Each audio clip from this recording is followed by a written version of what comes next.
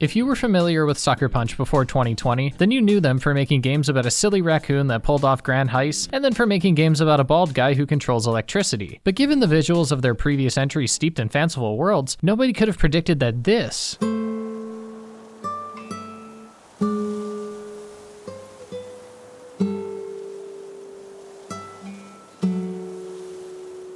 would be the next entry in Sucker Punch's portfolio.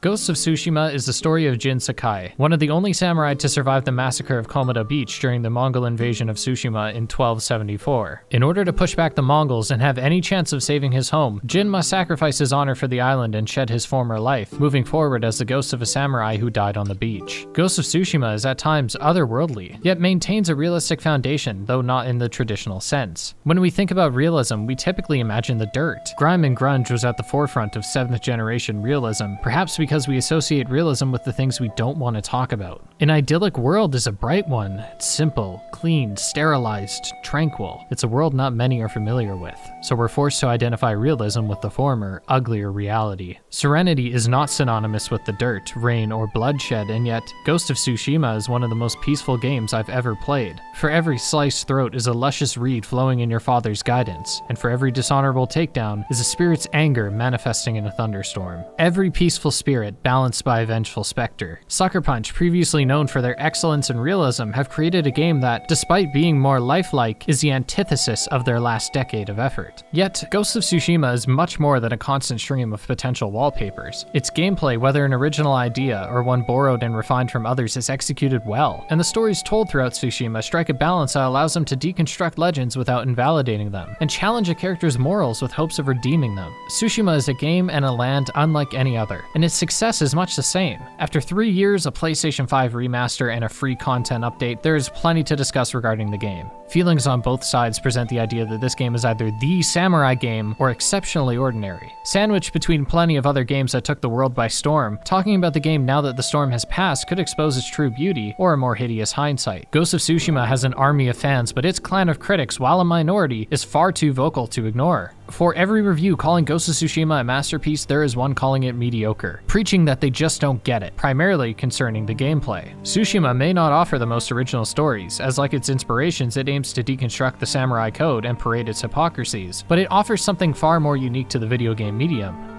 peace. Many games these days, while being cinematic, are doing so at the player's detriment. You'll never want to be more than a single stroke away from satisfying a feedback loop, even if that means bunny hopping across a map, souring immersion. As someone who shamefully desires that stream of stimulation and has no interest in the samurai, I find it difficult to believe that this game captured me the way it did. And that's what I'd like to unpack alongside taking a deeper look at the beauty Tsushima has to offer. Ghost of Tsushima is a critique of the samurai way just as much as it is a story of its end. Jin goes on a journey down a path that takes everything from him, and he is supposedly one of the first of his kind to abandon the values he thought were timeless, to survive in a world that is quickly changing. Ghost of Tsushima is a third person action stealth game, meaning it has legends to be judged alongside. While the recent actions of Assassin's Creed have been less than honorable, many still hold on to what the series used to stand for. While its spirit is alive in Tsushima, this does not warrant a comparison. These comparisons are natural, but are surface level. It's easy to spot the similarities between Ghost of Tsushima and even Red Dead Redemption 2, especially when journeying for long distances on horseback. They are two games that have beautiful open worlds full of tranquility and turmoil, and Red Dead, like many westerns and samurai films before it, has a consistent theme of characters no longer having a place in the world, and with the choice to either adapt or die. Jin's legend should be evaluated on its own merits, and comparisons could imply that its quality only exists in the presence of contemporaries, though I understand comparisons are almost always made without malice. Furthermore, our concern should not be whether Ghost of Tsushima is a good Assassin's Creed game, as many discussions have surrounded, but rather, is it a good product? Is it worth your time?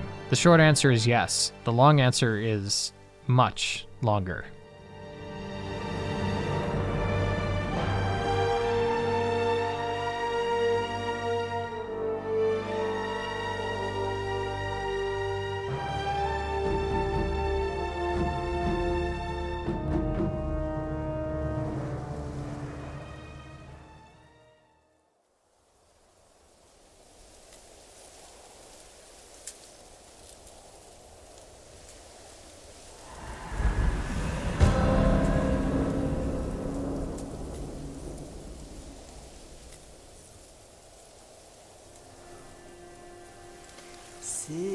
Island at war. A survivor's heart in turmoil. Find peace in one's death.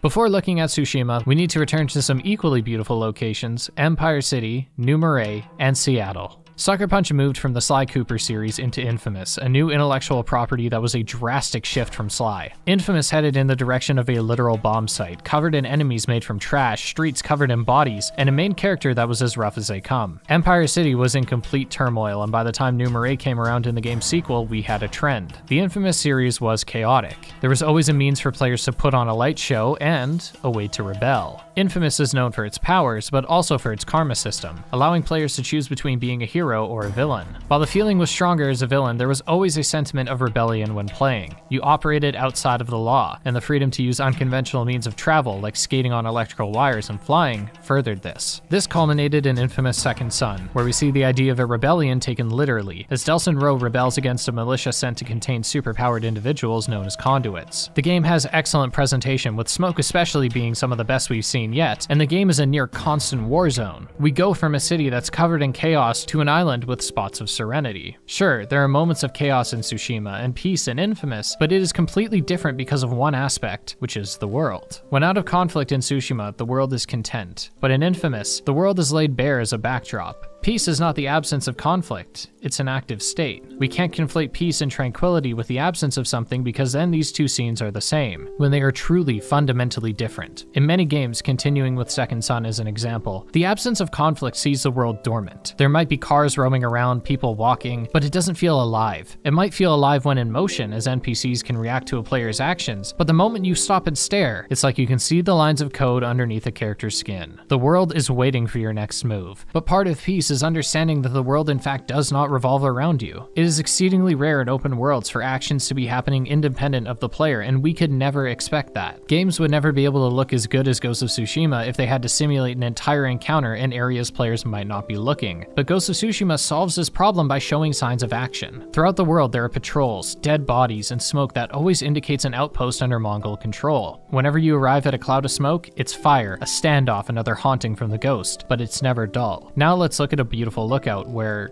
nothing is happening. What can we see in the distance? A breathtaking skyline, leaves falling like a winter snowflake, and Komoda Beach. A burning memory, the beginning of the invasion and where the action is, or was, at a point in time. But what makes this scene peaceful is not that there's no action, it's that there is. You know it, you can see it, but it's not here, and it's not now. Tsushima is an island in ruins and at war. There's no questioning the trauma that the island and its people are in, but the waves continue to wash against the shore, the seasons continue to change, and this brief window into a Tsushima at peace is where we can look for motivation and hope. The people have had their lives turned upside down. Where they once looked to the samurai for protection, they found failure in the name of honor, and where they once saw home, they now witness its destruction at the hands of animals. While you may not find such tranquility in these war zones, you will still find beauty. There's something so satisfying about seeing blood splatter from a sword coating the snow like a thick wine. There's also something so gorgeous about a battle that is raging in a world that couldn't care. Dueling with a Ronin as your movements kick up a dance of petals around you is something few games can provide, and the greatest challenge of these fights is not being distracted by the sun that is always beaming at the perfect angle, the rain that can elevate the tension of a fight, or the leaves being shed from an overhanging tree that, while obviously scripted, feel natural and independent of what is happening. Even the cutscenes are meticulously crafted. The camera work is always in a position to showcase the nature, but what sits in the forefront, the characters' faces, are equally masterful. Faces convey emotion as well as any other AAA game, and yet they're not needed. It's simple to praise facial technology in a product, and that task is no more difficult here, but our character has the option to wear a mask for most of the game, and even a shrouded helmet too. When the face is obscured, we can see that the body is as much a vehicle for emotion as any pair of eyes. Ghost of Tsushima remedies a common crossroads I find myself at. I enjoy anonymity, and that reflects in my outfit choices, but if I can't see my character's face, how can I know what they're thinking? Here, Jin's shoulder position, where he points his shrouded gaze, and the delivery of his voice conveys exactly what he is feeling at any given moment. In some cases, covering your face even enhances a scene. When in a tale that sees a character confusing you for your father, the premise is further sold when wearing the Sakai clan armor. And my point about not needing facial expression rings true in this scene too, as it still breaks my heart thinking about it. Furthering the beauty on display here is the lighting. Which shows versatility from shrouding Jin in complete darkness and coating his presence in a heavenly orange. Tsushima understands this beauty, as their photo mode encourages you to bask in their technical achievements, toying with different photo techniques and dressing up Jin in your favorite outfits. The outfits for Jin all look great, and mixing and matching them allows each player's ghost to be somewhat unique. Your outfit often reflects your playstyle, which has elements of choice in it too. Someone covered in ironclad would likely take part in standoffs, whereas someone in lighter cloth attire would likely stick to the shadows. Jin is given many choices throughout the game's challenges. In some cases it was sink or swim, and in others it was drip or drown, and in both, I was a buoy. I kept my attire light with reinforced armor on weak points, opting for a practical black dye over the whole outfit, except for the mask, which was a fiery red.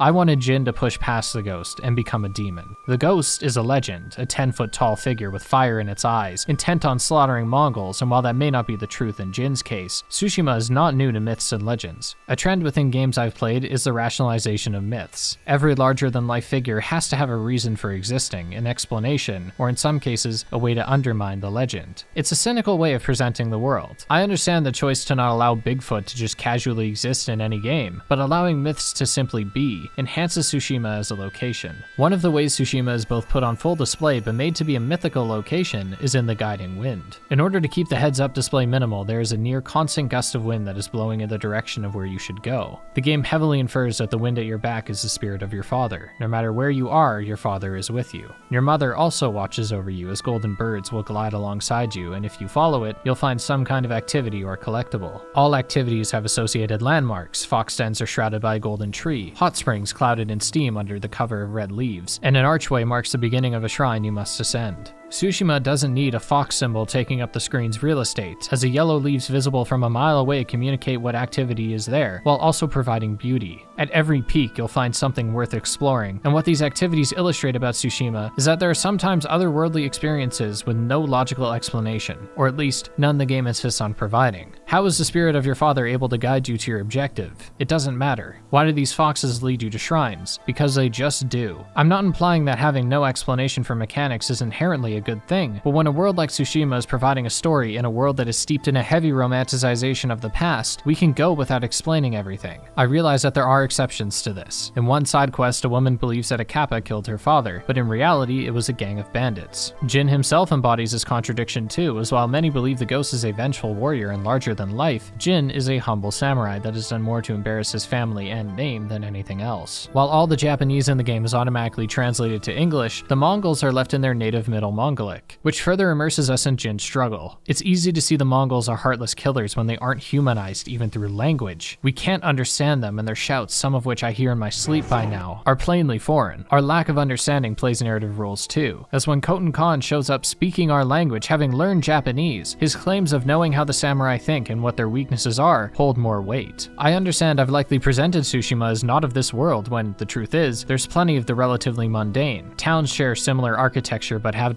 defining features. Temples act as universal safe havens and the many forts are a challenge to infiltrate. Sneaking through the different homes and shacks either over or under, enhancing the perception of the ghosts is endlessly satisfying. Some have taken issue with the repetitive structures, but personally, I feel there are only so many ways you can make an archer tower, and the massive locations like Castle Kaneda or Castle Shimura are proper gauntlets that are visible from all corners of the map. The townspeople all go about their everyday tasks, and while there is a sense of depression, given what everyone has lost, there's still hope for Tsushima to rebuild. But first, you need to clear the Mongols out, and that can be done in spectacular style. When approaching an encounter, you can choose to stalk from the shadows or start a standoff. The standoff is as much a fulfilling power fantasy as the duels are. In duels, the camera shows two warriors facing off, and there's a building tension around when Jin is going to draw his sword. When will the Khan be ambushed by the storm of Clan Sakai? The tension followed by the action is tantalizing, and the same is true for the standoffs. Not only is it the more honorable and more difficult route, but it also showcases in the slow motion the blood splattering out of a Mongol. Combat, the takedowns, the action is all presented so well that calling the game cinematic doesn't scratch the surface. Each mission that you start and end is given a title card, highlighting the details of the world. Cemeteries are filled with flowers left from loved ones, crickets singing to comfort the dead, and Mongols looking to pillage the graves. Homes are filled with beds, cooking pots, supplies, storage, people, and yes, a home that looks like a home is not necessarily worthy of praise, but it makes the world feel alive and lived in. When you see a temple in the distance and you've been there, you can recall the people people you've met, the places you've seen, and if it's a place you have yet to visit, having an idea of what might be in store is enticing enough. It's just a shame that you'll be sidetracked to places that are often less interesting. A running theme throughout Ghost of Tsushima that I will unfortunately have to harken back to is that it is a repetitive game. Often it's repeating something great, but when you find an activity that isn't great, prepare to face it again and again. For me, the best the world had to offer were the haikus. They present beautiful scenery and offer a chance of reflection, which is an important aspect of feeling at peace. It's about going through a conflict, a hardship, and coming out the other side, reflecting on the events, and understanding that even if there is more hardship to come, you have a moment now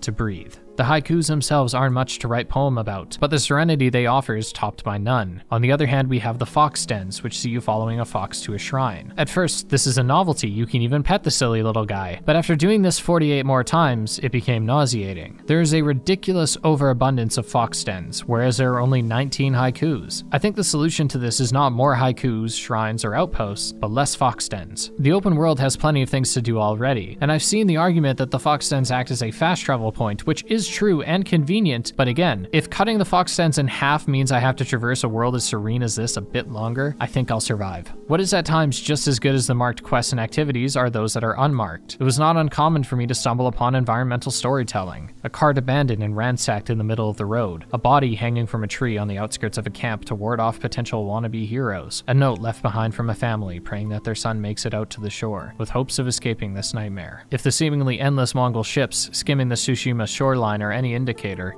they didn't make it. There are so many stories to be told here, we don't need another foxtail. A final side note about the island in the presentation as a whole is the historical accuracy of it, which is that the game is very quick to sacrifice accuracy, and I believe that choice is great. During this time period, samurai rarely used swords, which didn't become common until years later, but using a bow the whole game wouldn't be very fun. Further, the different biomes and mountains are not perfectly accurate, but again, when the world is this masterfully crafted, to hell with accuracy. Tsushima is an island with beauty that can only be understood through playing it. I can show screenshot after screenshot, but it simply won't compare to being there yourself. There's so many biomes, luscious violet flora, desolate scorched soil, lethal tundra. It's all beautiful, and I don't think the English language has words to properly describe its grandeur. It simply has it all. Peace, war, desperation, hope, reflection all reinforced by a soundtrack that damn near brought a tear to my eye. This is the most beautiful and peaceful game ever made, but nothing is perfect, and there will always be a balance. Ghost of Tsushima has some glitches, and while none were game breaking, I'd be dishonest if I didn't mention it. It's mostly minor visual errors or some goofy ragdolls. I was fortunate enough to not encounter anything too harsh, but others have. Fortunately, performance seems to be perfected across the board. With few frame drops, and in my case of 50 hours, I experienced just one. This should surprise you as it did to me, because remember, this was Sucker Punch's last series. I find it interesting that the presentation of Ghost of Tsushima is a full 180 from Infamous. The UI is cleaner and less prevalent, its world more luscious and apocalyptic, and the music is more subdued. During the Mythic Tales, we can see the spirit of the cutscenes that nearly defined Infamous appearing, and the many silhouettes that showcase your legend give off that same aesthetic. Everything else is cleaner. You could argue that the rebellion Infamous indulged in is still present here, as we can turn our back on the samurai way, but the game isn't trying to make us enjoy it as much. When first straying from the samurai path, your takedowns are haphazard and dirty, but as you progress through the game, naturally upgrading your Tanto, you'll see an increased efficiency. Not only are these animations faster, but they are showing an element of comfort from Jin. His combat abilities don't see the same change as he's been trained in sword combat since he was a child. Instead, his transformation shows us how he uses the ghost abilities mid-combat. Reinforced by how effective these tactics are, Jin's samurai fighting style continually degrades throughout the playthrough. A contrast is again seen, similar to how peaceful the game is, but the most notable is the direct opposition Ghost of Tsushima's gameplay is to Infamous.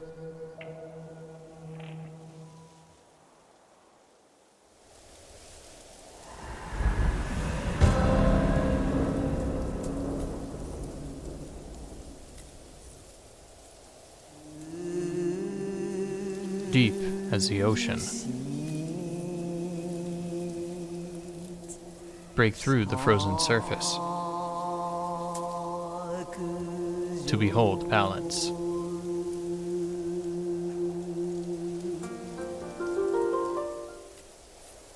Gameplay in Infamous is projectile based first. Melee is always viable but often secondary, collateral damage is a near guarantee, and the game excels in presenting a battle between you and seemingly the rest of the world. Ghost of Tsushima presents melee as being the most optimal and range damage as the secondary. You'll be outnumbered most of the time too, but it's within the one on one fights that Ghost of Tsushima is an undeniable 10 out of 10 game. It's just a damn shame that there's more to it than that. Combat is at its best in an open area with a few enemies, and if they're in overwhelming numbers, then it's at its best by the end of the game when you have all the abilities at your disposal. The game convinces you that there's a choice between being the ghost and being a samurai, and both playstyles are rewarding in their own way. Progression in Ghost Tsushima is unique in that the most difficult part of the game is the beginning, and enhances the narrative. Jin is completely outnumbered, and let's be honest, is no match for more than a handful of Mongols, and in gameplay, the player is new to the samurai way and struggles to grasp the controls on top of having no upgrades. Brutes will be a massive pain, and the Mongol captains will be genuine challenges. But you can take out those brutes and most other Mongols with one button, silently. You want to live the samurai fantasy and fight with honor, but when you're throwing yourself headfirst into a 10 on 1 battle, at what point are you simply dying in the name of an honor code your enemies at most entertain? What furthers this conflict is just how quickly you'll die, and how quickly the game throws you into large, seemingly impenetrable forts. Your health is slim, attacks limited, resources non existent. In every way imaginable, you are encouraged to go ghost. But what is interesting is that by the end game, being a full samurai is more appealing because it's easier, which shows how the player and Jin will, if under enough pressure, try a less honorable approach. Another means of progression is within Jin's legend. Increasing through every push against the Mongols, Jin begins as a wandering samurai saved from Komoda by a stroke of luck, but early on, Yuna weaves tales of Jin being more than a spared samurai, instead, a ghost, hell bent on revenge. A silent knife in the dead of night, his body an endless silhouette, his face a demonic red, and his katana as swift as a blink. In Act 1, Jin is yet to live up to his legend, but by the end, you'll be the exact legend I described. These abilities that allow you to do this are acquired through Tsushima's tales, and by earning technique points, rewards for growing your legend.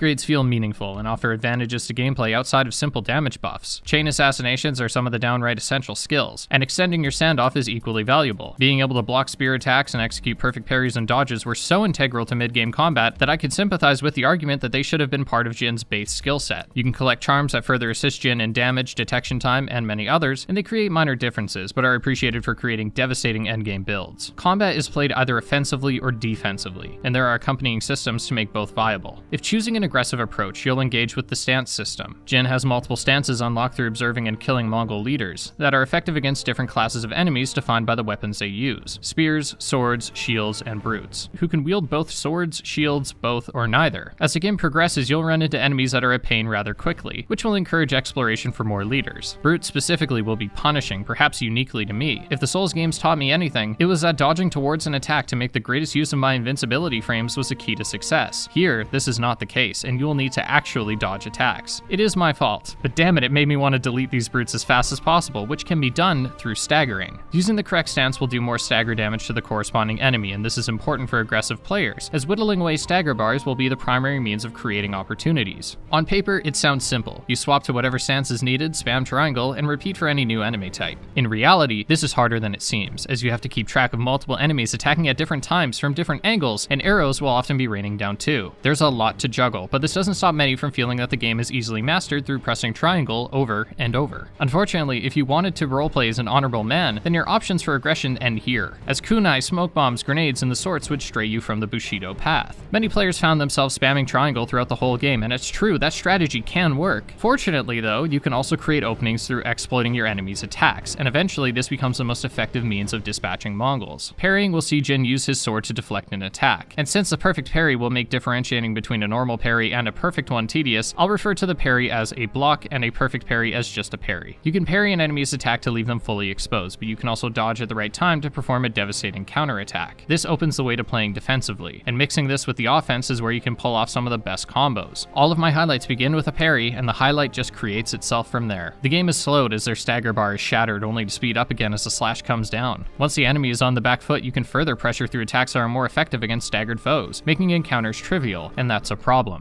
Ghost of Tsushima truly is an easy game. Stealth in many games has a skill floor that, as you show more patience, gets lower and lower. The same is true here. If you wait long enough, then an opportunity will eventually present itself. The purpose of tools like wind chimes, chain assassinations, and even the advanced hearing that functions like any other Eagle Vision esque ability is to streamline the process of gathering information and waiting for pieces to align. Need someone in the right spot for a kill? Lure them with the chimes. It makes stealth challenge the execution of an entire base rather than the execution of a single Mongol. Your real challenge is moving through the base assassinating who you want and how you want to. My challenge with all these bases was that I enjoyed leaving the commanders until the end. It was satisfying to imagine they're minding their business, and the moment they realize it's a little too quiet, they see their entire camp slaughtered, and often it's the last thing they do see. The AI is admittedly dense, not in the deep way, but there was enough variety here, such as the enemies with headgear preventing a ranged takedown, and their tools like birds that can spot you, or hwachas that must be disabled above all else. Stealth unfortunately does nothing new, often borrowing ideas from contemporaries. If comparisons to Assassin's Creed weren't already here, then they certainly will be after seeing the poison and berserk darts. It's a familiar system, and thus, unless this is the first stealth game you've played, you'll find yourself not needing a tutorial, and there's little to excite you. Okay, maybe slicing a Mongol leader's head clean off is a never-ending dopamine rush, but underneath the flashy kills, you'll find a system with restrictions strictly defined by the player. I try not to use smoke bombs or chimes too much so I can make stealth more challenging and immerse myself in Jin's position, aided by the slower takedowns of the unrefined Tanto. When in combat, the challenge is often the same. Defeating a single Mongol is easy, and even a handful is eventually elementary, but it's doing so with the desired swings and strokes that make it satisfying and difficult. One of the abilities you obtain from a mythic tale is a Dance of Wrath, which will see Jin striking his opponent three times with devastating damage and inhuman speed. This can be a one hit on three different enemies or three hits on one. The catch is that this particular attack will consume three points of resolve, which could be spent on other abilities or could be stockpiled and used for healing in the event that you are struck. There's an element of risk to moving with such aggression, and it means that you need to build up to that speed.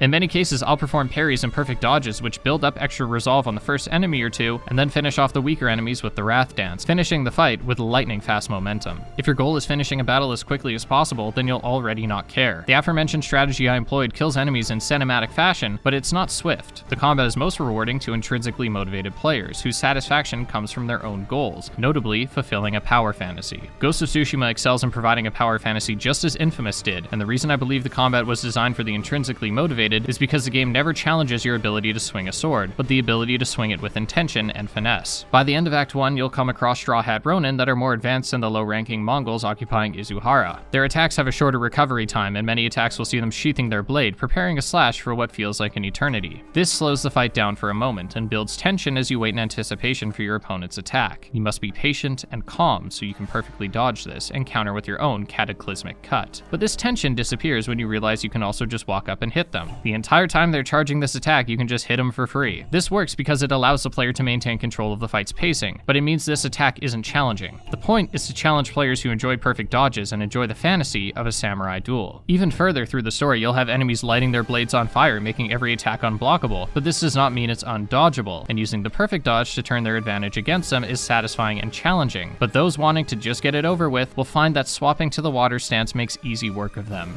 as if they were no different from six hours ago. Even boss fights suffer from this, and yet this is consistent with Sucker Punch's previous outing. Infamous has never been a difficult series aside from a few exceptions. Commonly, you'll be going on a rampage, often without much challenge. You're overpowered, yes, but the enjoyment comes from enjoying your powers. Where this differs from Tsushima is in the skill required to look cool. There's skill required in your aim and positioning, but Tsushima has a greater focus on timing and engaging in defensive strategies. Where Tsushima also differs from its predecessors in the boss fights, and quality is not where the contrast ends. The spectacle was top priority in Infamous, but in Tsushima, mechanical challenge plays a larger role, and while the presentation is cinematic and the visuals at times unbelievable, they don't top the downright insane fights in Infamous. Most one-on-one duels will be challenging for the same reasons basic combat is, and yet it is Ghost of Tsushima at its absolute finest. The katana digitally is designed for single target elimination. When there are 5 Mongols around you, it's not a 5v1, it's a 1v1 times 5. Each attacker requires focus, and the moment one is on the back foot, another is stepping in to demand your attention. It results in situations where the player lacks agency within the fighting pace. The exception to this is if you have enough resolve to use abilities that turn the fight in your favor, but these situations are rare, and you'll more often be attempting to build up that resolve, which again is something dictated by the AI. There's another problem with the group battles, and it's one I struggle to present because, simply put, I don't know if I'll be able to beat the skill issue allegations on this one. The camera is not great, and Jin consistently struggled to swing in the correct direction. This should not be confused with enemies intentionally dodging your attacks. If you attack an enemy, they will either block it or sidestep the attack, which will result in Jin being committed to swinging at the target's previous position. That mechanic is executed well. The issue I raise is where, despite wanting to swing at a particular enemy while pushing the stick in said direction, Jin will either miss entirely or at times swing behind him. It was consistently frustrating, and I'd assumed the lock on feature, which the game does not explicitly show you, would solve this problem.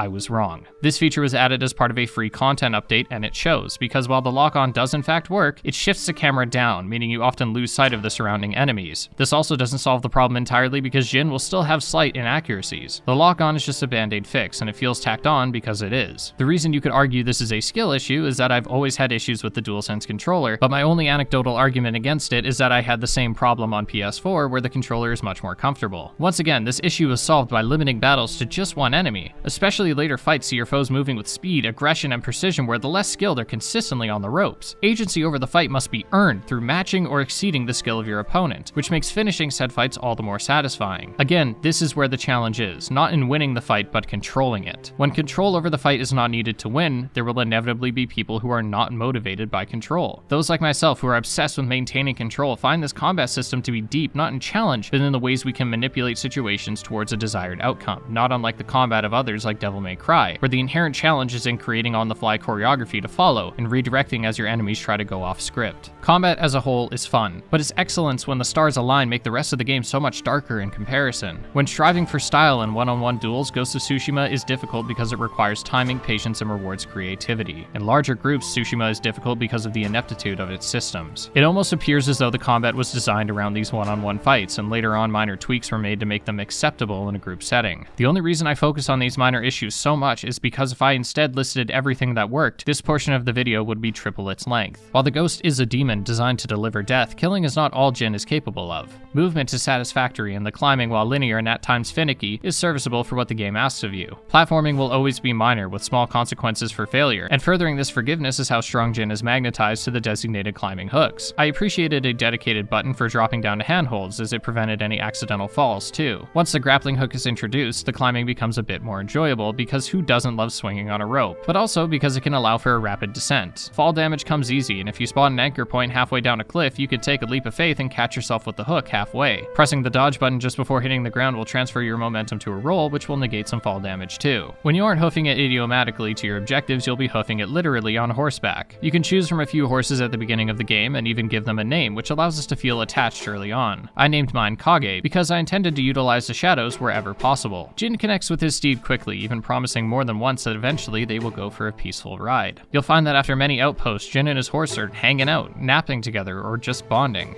and it's nice. Riding the horse feels good, but I was not a fan of the horse's inability to swim. From nearly any point in Tsushima, your companion will hear your call, and in reality, they're loaded off screen. If they happen to be close by, then they'll make a short gallop over, but the point is, is that if they can't get to you, they will call on the spirits to teleport them. If you find yourself at a body of water, say a small river between you and your objective with no convenient bridge in sight, you'll have to get off your horse, swim across, no matter how brief, and then call your horse again for it to appear next to you. Allowing the horse to swim cuts down tedium and does not break realism. People swim with their horses all the time. If the reason for not allowing swimming was for realism, then this does not solve it, because a clearly teleporting horse is far more immersion breaking than one that swims. A minor nitpick, but again, finding ideas of critique is like grasping at straws. Areas with loot are far easier to find as they are practically all around you. Leather, wood, bamboo, iron, hides, and supplies will be required to upgrade your weapons and armor. Armor as it evolves will develop more extravagant designs, thankfully with the option to return to previous states, and weapons will offer minuscule visual changes but noticeable damage increases. A maxed out katana will cut through early game Mongols like butter, and an upgraded half bow renders headshots optional, but these take time. If you collect supplies wherever possible, you'll be leveling gear at a steady pace, creating a position where Jin, now with a blade sharp enough to cut diamonds and enough resolve to eat an atomic bomb, can reliably stick to the samurai code. No desperation means no need for the ghost. But even with this newfound power, the ghost continues obstructing the samurai code. Halfway through the game, as you begin poisoning Mongols, slaughtering them through clouds of smoke and tall grass, you'll take the final step towards becoming the ghost. Decapitating a Mongol commander and without words declaring that the same fate will become of anyone else that stands in your way. You could argue that Jin becomes the ghost when he poisons the Mongols at the end of Act 2, or even in the final decision during Act 3, depending on what you chose. But I would say that is when Jin embraces the ghost, finally conceding that that is what he's become. The Siege of Yarikawa is when the transformation is complete, and the poisoning of Mongols is when Jin is too far to come back. Even if he, from that point forward, continued to live with honor, his reputation remains. Killing with honor now does not erase what the Mongols know you're capable of. When they first arrived, they were comfortable fighting the samurai because because they knew their limits. Many samurai would follow their honor code to their deaths, and almost all of them did, but Jin doesn't follow those rules, and the Mongols fear an enemy they do not know. All of this stacked high above the stories of Jin's combat prowess led to many Mongols running from battle. There is a problem with this setup though, which is the player understands the strengths of this game and fully immerses themselves in the way they want to play, which as previously stated is where the challenge lies. If you only used ghost tactics when there was no other choice, such as a tutorial, you will still be forced to hit that breaking point of decapitating heads and poisoning drinks.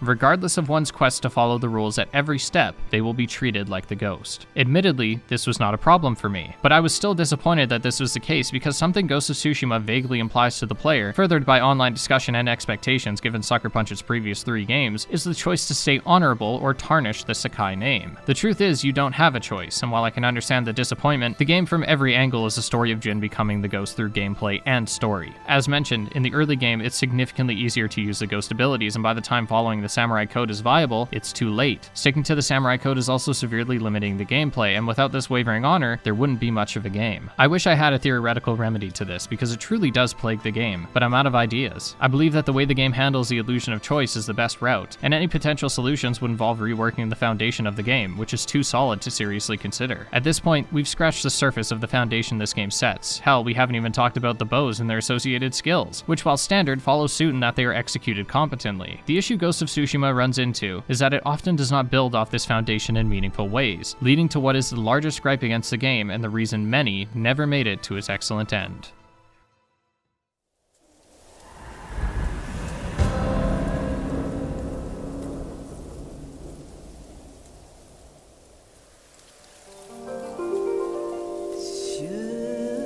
Refined, but not new. Repeated, but not expanded. The prowess remains.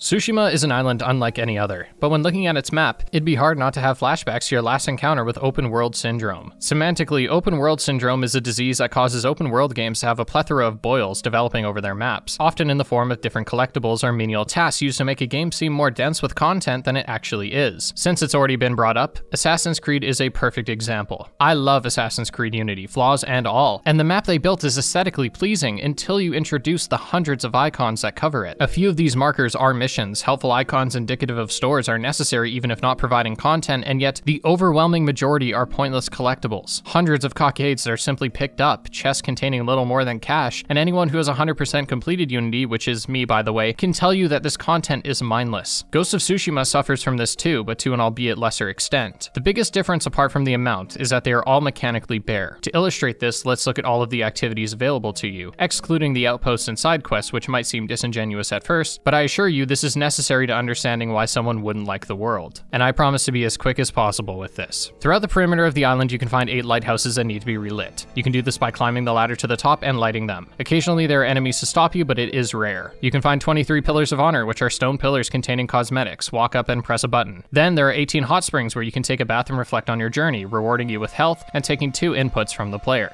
To increase resolve, you can complete 16 bamboo strikes, which require you to press a sequence of inputs fast enough. Nothing revolutionary, but I will admit these aren't bad. For some charms, you can climb 16 Shinto shrines, which will see you pressing R2 a few times to climb, and not much else. To relax from all that climbing, you can reflect on the world around you through writing 19 haikus. These are just a few button prompts and contain cosmetic rewards. Finally, there are 49 fox dens, which will see a fox guiding you to a nearby shrine that you can pray at with a press of a button for a charm slot upgrade and eventually charms. All of these activities reward you with small incremental increases to your stats or a cosmetic. In the case of the haikus, poor cosmetics at that. A total of 149 activities, and the rewards are often negligible. In the world, there are 68 side quests, 5 duels, and 56 outposts for a total of 129, and a grand total of 278 things to do in the world, discounting the collectibles and main missions. Overwhelmed yet? So, all of this is to obsessively highlight how mechanically repetitive the world is. Pillars of Honor, Hot Springs, Haikus, and Fox Dens require minimal player input. I will not include the shrines because they offer a platforming challenge even if minor, and the bamboo strikes because they take more than a few inputs. This leaves us with 117 activities that require virtually no player input, 40% of what you do.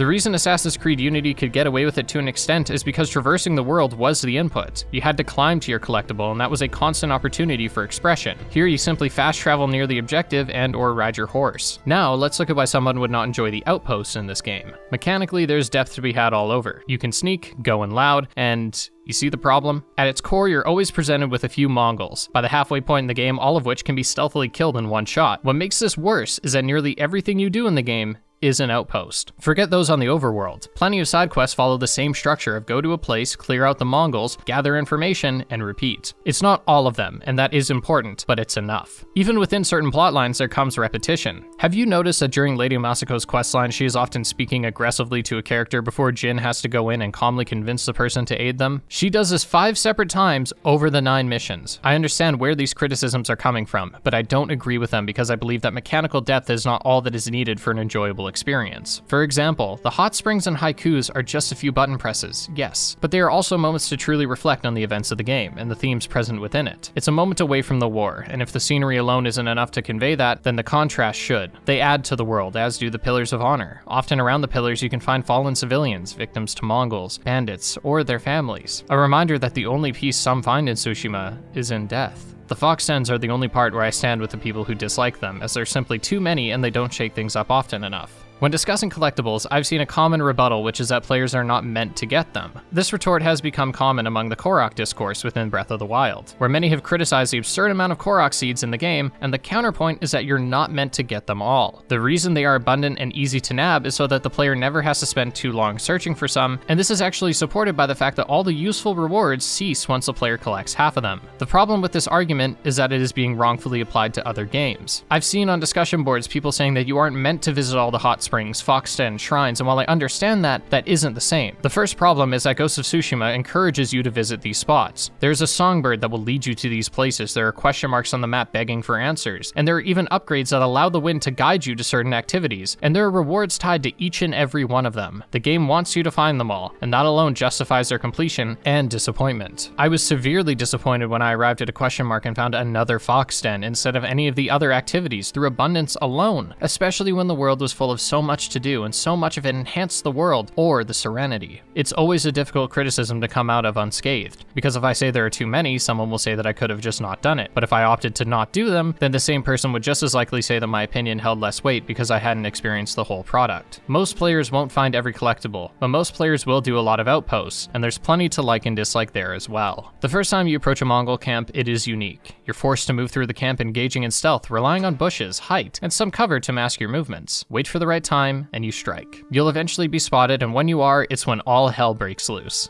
causing a clash with the remaining Mongols. This will also be the case for the next camp, and the next, all the way until you've done them all. There is no change to how you approach these camps outside from bases containing Hwachas, as instead you'll focus on destroying it before falling to the same old routine. In fairness, the early game has the Mongol commanders that cannot be assassinated, but this challenge is nullified by the halfway point of the story. Ghost of Tsushima is excellent at providing you with new tools and abilities to try out on the Mongols, but it struggles to force creativity out of the player. Let's assume you approach three enemies in a group. You could use use your arrows to pick them off, use a berserk dart to turn them on each other, but risk alerting the base, unleash a nearby animal for a similar effect, or just drop in with a chain assassination and clean them up in seconds. The problem here is that there's no restrictions. A good stealth game is one that requires you to adapt, and in Ghost of Tsushima, you will never need to adapt. As much as it's been beaten into the ground, the reason Mr. Freeze in Arkham City is such a good fight is because you're forced to try different strategies, consult the tool belt, adapt to the changing environment. Tsushima dips its toes into this with the eagles that can spot you, but they are so easy to kill and show up so rarely that I barely remembered them. I would have appreciated Mongols with helmets and armor that prevented them from being killed by arrows, and further, how about in some of the snowy environments have certain enemies wearing snowshoes and because their movements are so quiet, Jin can't detect them with his heightened senses, so he has to instead track the footprints left behind in the snow to know where they are. These are simple ideas, and truthfully, I'm not a game designer, so take a pound of salt with these ideas, but the point remains, outposts provide no external challenge or incentive to experiment. Much like combat, the fun from these come from wanting to play it your way. Maybe it's restarting when you're spotted or only using the Tanto. My reason for wanting to use the Berserk darts is because it's immersive, not in the realistic sense, but in that I am, just like Jin, crafting the legend of the ghost. Imagine a Mongol suddenly turns mad and those around him begin to believe the ghost has possessed his body. Perhaps I'm meeting the game more than halfway, but the other scenarios work too, such as clearing a base purely through arrows or using only the Tanto, not being spotted at all, and so on. For those naturally inclined to try different things for the sake of variety, there is plenty to love here, but those wanting to just complete the objective will again find the game to be breeze. This alone is not a fatal flaw, but it becomes more frustrating when nearly everything in the game is an outpost. This is something I've indirectly spoken about for the whole video. The largest criticism against Ghost of Tsushima is how repetitive it is. Forget the 50 outposts already in the game. Let's look at actual mission design. The first mission is on Komoda Beach, not an outpost. The second sees you moving through a town with Yuna, more or less an outpost, but it's a tutorial, so I give it a pass. Then you get on a horse and move through Castle Kaneda, which is essentially an outpost. Then we help Yuna by clearing an outpost. Then we clear out Azamo Bay, an outpost.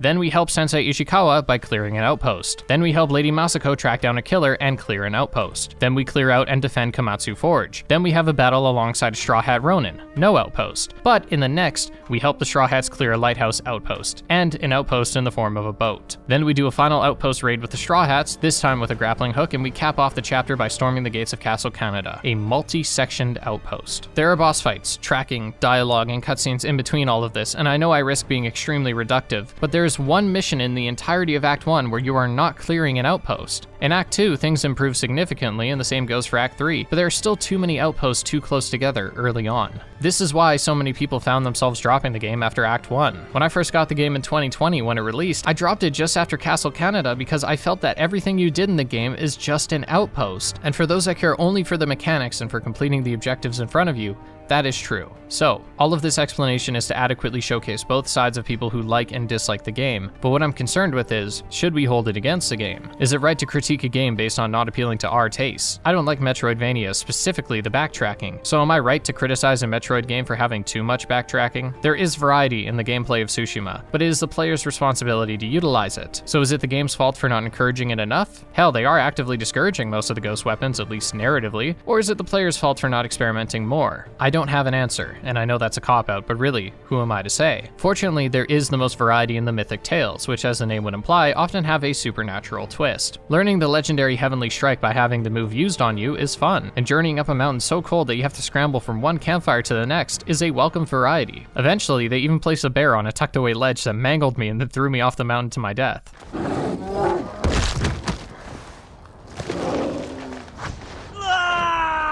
The rewards for these are usually practical, even if the means aren't. Get a very basic longbow, you'll fight a demon in an arena of crows that slowly closes in, forcing aggression. There's an argument that even these quests are repetitive, as there are admittedly an abundance of following footprints, and nearly all of them end in a duel of sorts, which can be repeated as much as the game wants because they're always fun. But the truth with all of these tales and gameplay mechanics is that there is variety, and the repetition only comes from purely looking at what it asks of you. Yes, 40% of the activities require barely any input, but that's not necessarily the point. The haikus offer a chance to reflect and bask in the scenery that has earned its right to show off. The hot springs offer insight into Jin's psyche and how he's dealing with the events of the game. His stoic demeanor rarely drops, and this introspection is not exclusive to bathing and writing, as the many tales will not only reveal more about Jin, but critique him and his methods too. I'll be separating the tales into two categories, world tales and character tales. Despite the differences the name implies, the other difference is in how they reflect on the story. World tales often feature anything from a mundane encounter to a tense duel, and are a look into Jin helping the people for the sake of it. The character tales see Jin assisting a character and working through some trauma, and learning more about them and himself along the way. After recovering from Komoda Beach, we can find the wife of Harunobu Adachi, who is the first to see the Mongols' exploitation of the samurai's honor. Masako had her family slaughtered,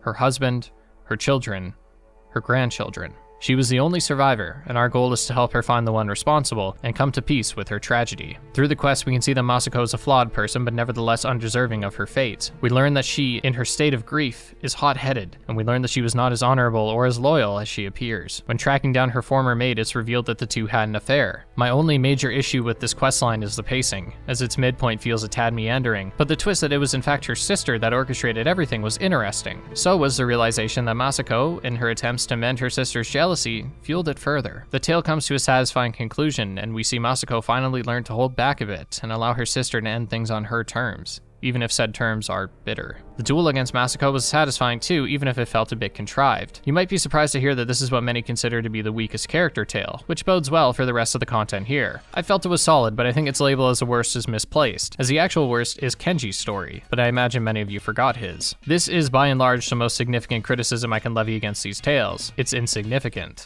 Kenji's missions usually see him coming to Jin for help, feigning some lie to convince him for the help, and by the end revealing that he was in trouble because of a malicious act, usually trying to scam someone. Even when these scams are for a noble cause, Kenji has to learn to use his skills for the betterment of the island. Kenji isn't a bad guy. We first meet him by seeing that he's working with the Mongols, but not in the way that we first suspect. We find that he is delivering alcohol to them to keep them drunk on sake instead of blood. He serves as comedic relief for most of the campaign, and the same is true for the side quests. It's a nice break from the heartache found elsewhere. As you liberate a camp with Lord Shimura, you'll discover some warrior monks were being tortured. Among the few you save is Norio, who is distraught over his brother's death. Norio, through helping the people of Tsushima alongside Jin, must not only come to terms with his brother's death, but the survivor's guilt that he feels. His brother was a legend among the people for being extremely skilled, and Norio is just not going to live up to that, or so it seems. He feels like it should have been him to die because his brother would have done so much more. The mission structure here is nothing new, but it will at least entertain. An issue all of the side tales struggle with is repeating the same few objectives. It's talking to someone, following a trail, defeating some Mongols, and it rarely strays from that path, and the times that it does gets lost in the sea of outpost. Norio further begins to question the monk's way of living, and this all culminates in a siege against a temple where he finds his brother, tortured and without limbs. I must admit, this struck me as oddly hilarious. Trying to keep composed though, this is otherwise a big moment for Norio, and it's when he goes off the deep end. After some time alone with his brother, deciding with him to end Enjo's life for the sake of himself and his legend as the guardian of Tsushima, Norio vows to get revenge. We later meet Norio at a camp near a Mongol outpost, where after a conversation, we get some rest to strike the next day. When we awake, Norio is gone, and some locals inform us that he has lost it and is at the Mongol camp. When we arrive, the whole camp is ablaze along with the Mongols at the hands of Norio. This chaos the way the people speak of Norio, the way the Mongols are running, begging for their lives. Does it not look familiar? I saw this moment as the game presenting the actions of the ghost from a third party. This is what the rest of Tsushima sees when we clear an outpost. Severed heads, burnt corpses, and a camp reeking of iron from all the bloodshed. This moment is done so well because we see Norio as a rather ordinary yet skilled fighter. We are expecting him to be half dead, if not worse, but when we see him, he's relatively unharmed. Our thoughts of how likely it is for Norio to be dead parallels what others must thought of the ghost at first, and the natural response to Norio saying he enjoyed it, feeling as though he might not be all there, should we not question the same of Jin? This is a major theme within Norio's tale, hypocrisy. The idea that the advice Jin gives is often contradicted by his own actions. He encourages others to not lose their honor. Meanwhile, he has killed an entire army without a sliver of it. Jin would advise against Norio's actions here, but Jin alone has taken down countless outposts. But there's a difference between Jin and Norio. When we take down an outpost,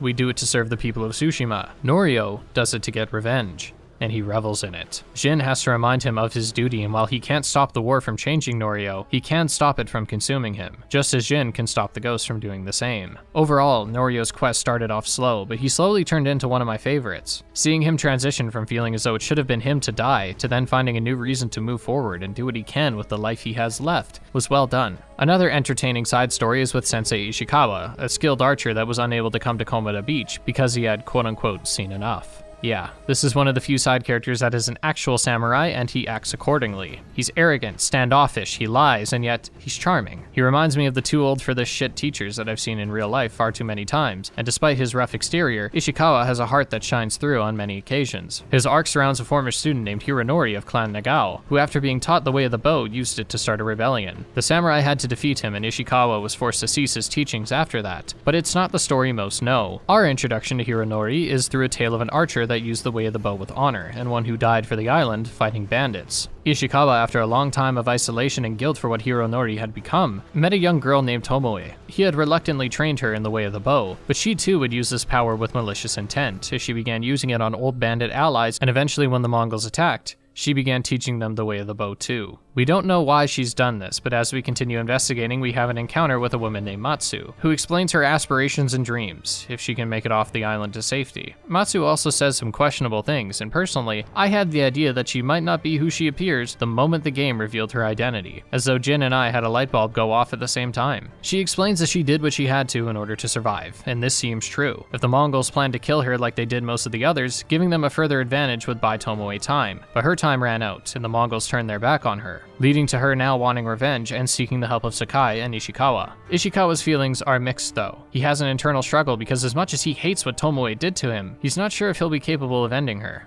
He planned to adopt her, hoping she would be his heir. Ishikawa, from the looks of it, doesn't have anyone, and he now, twice, has seen his students lose their honor. The most tragic part of Ishikawa's story is that it happens a third time. Jin learns the way of the bow, and yet he is another failure to Ishikawa, as he is deemed a traitor and his clan disbanded, and the shogun wants him dead. The moment he gets over Tomoe, Jin is yet another student, dishonoring the Bushido way. Ishikawa, despite being so strict, does eventually cut Tomoe some slack. After helping her defeat the Mongols, she is nowhere to be found, and after correctly assuming she is on a boat to the mainland, the two have a clear shot at her but decide not to take it. Ishikawa lets go of what he thinks is right, and he decides that Tomoe can live so long as she does not come back to Tsushima. Ishikawa's tale is so interesting because he's an unlikable character. He blames himself too much, he's often dismissive or outright rude to Jin, and continually lies and conceals his thoughts. But slowly learning more about him made this tale one that while not having the larger revelations like Norio or Masako's, is consistently evolving, and learning some of the new bow techniques makes this one of the more engaging tales gameplay-wise. It's not often I chose the way of the bow when in combat, but the missions here were structured to encourage it much more, and when the headshot sounds are this satisfying, you can see where the enjoyment with this tale comes from. Tomoe is much like Jin, simply doing what she must to survive, and if Ishikawa can forgive her, then maybe the rest of the samurai could forgive him too. All of the aforementioned characters appear in the story briefly, and often the purpose of their inclusion is to kickstart their side quests, but that is all but one. Yuna. Yuna has a consistent role in the story, saving Jin on multiple occasions and being near integral to the plot at every turn, and yet she still has a story to be told. Not of her life moving forward, but of her life before the invasion. In her tale, we explore her past as a peasant, and we learn that it was not kind, to say the least. It's revealed that Yuna and Taka were child slaves and were likely forced to commit unconsenting erotic acts, leaving the pair scarred. They were not the only ones, as a woman named Ichi attempts to escape with the siblings, but she was recaptured. It's not as though Yuna and Taka didn't care enough to go back, but they couldn't. Yuna throughout the entire game is resilient and strong. She has the strength to save Jin twice, defeat Mongols, overthrow Castle Kaneda with Jin, and yet a farm with a few huts has her traumatized to the point of not being able to enter it. With all this strength on display, having Yuna unable to physically face her past is an ideal way of presenting how much that camp had hurt her. Her arc is notably shorter than the rest, but that is likely due to her increased presence in Jin's story. Fortunately, as far as gameplay goes, this was an excellent set of missions. Sneaking into the farm had a restriction of only killing the commanders and nobody else, meaning more care was given to each movement. It was the exact kind of unsatiated craving I felt throughout the rest of the game. The questline even ends with a decent duel, but now's as good a time as ever to mention that many duels, some inside and main quests, are basic enemies with a larger health bar. When it's the other way around, it works. The Straw Hat Ronin fight very similarly to Ryuzo with a smaller health bar, but because we have to fight Ryuzo first before the Straw Hats show up in the world, we are already familiar with the moveset. When the Mongol commander at the Siege of Yarikawa is a basic commander I have fought over 10 times up to that point, the grandeur of the fight is soured. And the same is true at the end of Yuna's quest. Altan is built up as this imposing threat, and yet he fights and worse goes down, like any other Mongol. Regardless, the presentation of these fights and the power fantasy make them worth the time, and the story told here is one of the most tragic in the game. By far the most tragic tale in all of Tsushima, is of Yuriko, who also has the shortest tail. We meet Yuriko when returning to our family's homestead. She reminisces over the memories of Jin and his father, and we see a Jin that is in rare form, having dropped the stoicism. In their first meeting, they discuss Jin's childhood memories, but it's in the second meeting that Yuriko begins to seem odd. She's coughing, and the memories being discussed are now unfamiliar to Jin. We can begin to gather that Yuriko is likely suffering from dementia. Her spiral is not pretty. At first, it's a wholesome look into the memories of the best day of her life, but it quickly turns to her chasing hallucinations of her mother into the forest, and it's clear her mind is an unorganized collage of fading memories. I've had a similar experience, interacting with someone with dementia, someone who had forgotten every day that their husband died years prior. At first, she was reminded, and then grieving, every day, but quickly that obituary turned to a white lie. Another overtime shift, another traffic jam. He'll be home soon. It's a difficult dilemma. Do you continue correcting them, trying to bring them back to Earth, or entertain their reality and ease their confusion for however long they have left? It doesn't matter who's next to Yuriko. So long as she believes it's her love, then she can go in peace.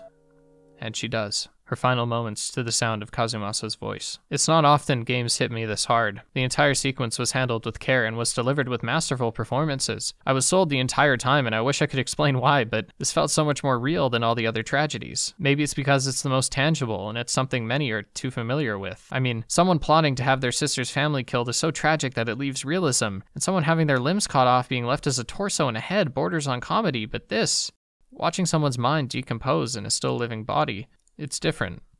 Sorry. The tale itself, despite having the story and scenery to justify minimal input, has some variety. You write haikus with Yuriko, ride with her, protect her from the Mongols, and it allows us to be the best tale in the game. The character-specific tales in many ways are a reflection of Jin. Ishikawa and Tomoe's conflict is much the same as Jin and Shimura's, even down to the adoption. The student having to sacrifice their honor in order to survive, and a sensei that is entangled in the samurai code to their own detriment. Jin speaks of Tomoe as though she's a clear-cut traitor, and while that is true, it's not that simple. Jin encourages others to fight and die with honor, but excludes himself. Through Masako's tale, he learns that sometimes it is those closest to you that can hurt you the most, and by the end of Jin's journey, the same conclusion is drawn. Overall, the side content here is quite good. It might not have the same epic set pieces as the main game, but it certainly has at times greater emotional tension. The repetition of the gameplay stands high and casts a shade over it, but for those who enjoy the stories told here and the art on display, you'll find value. The same rings true for Jin's story, but with the added caveat that the pacing is weak in the first act, likely due to the density of the first island compared to the other two. Almost all tutorializing, outposts, missions, and collectibles are at their most frequent here. Despite this, the story remains memorable, and has seen an adequate amount of praise over the years.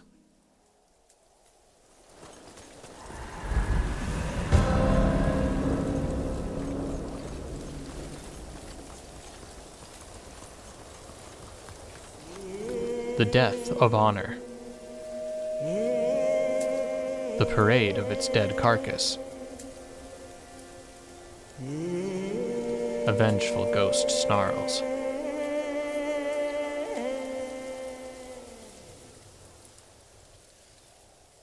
Ghost of Tsushima opens on an excellently strong note. The Battle of Komoda Beach does everything right to convey who these samurai are, how they fight, and how they are exploited. The game assumes the audience is familiar with the pop culture portrayals of samurai, and the samurai in the game remain in this fictional history. While the true samurai were far different, the game has never tried to feign much historical accuracy. Regardless, if there is one thing samurai are known for, it is their honor code. They fight by a set of rules and values, and the samurai maintain power under these laws. They are seen as highly disciplined, skilled, honorable warriors, but when their strength is known across the world, so are their weaknesses.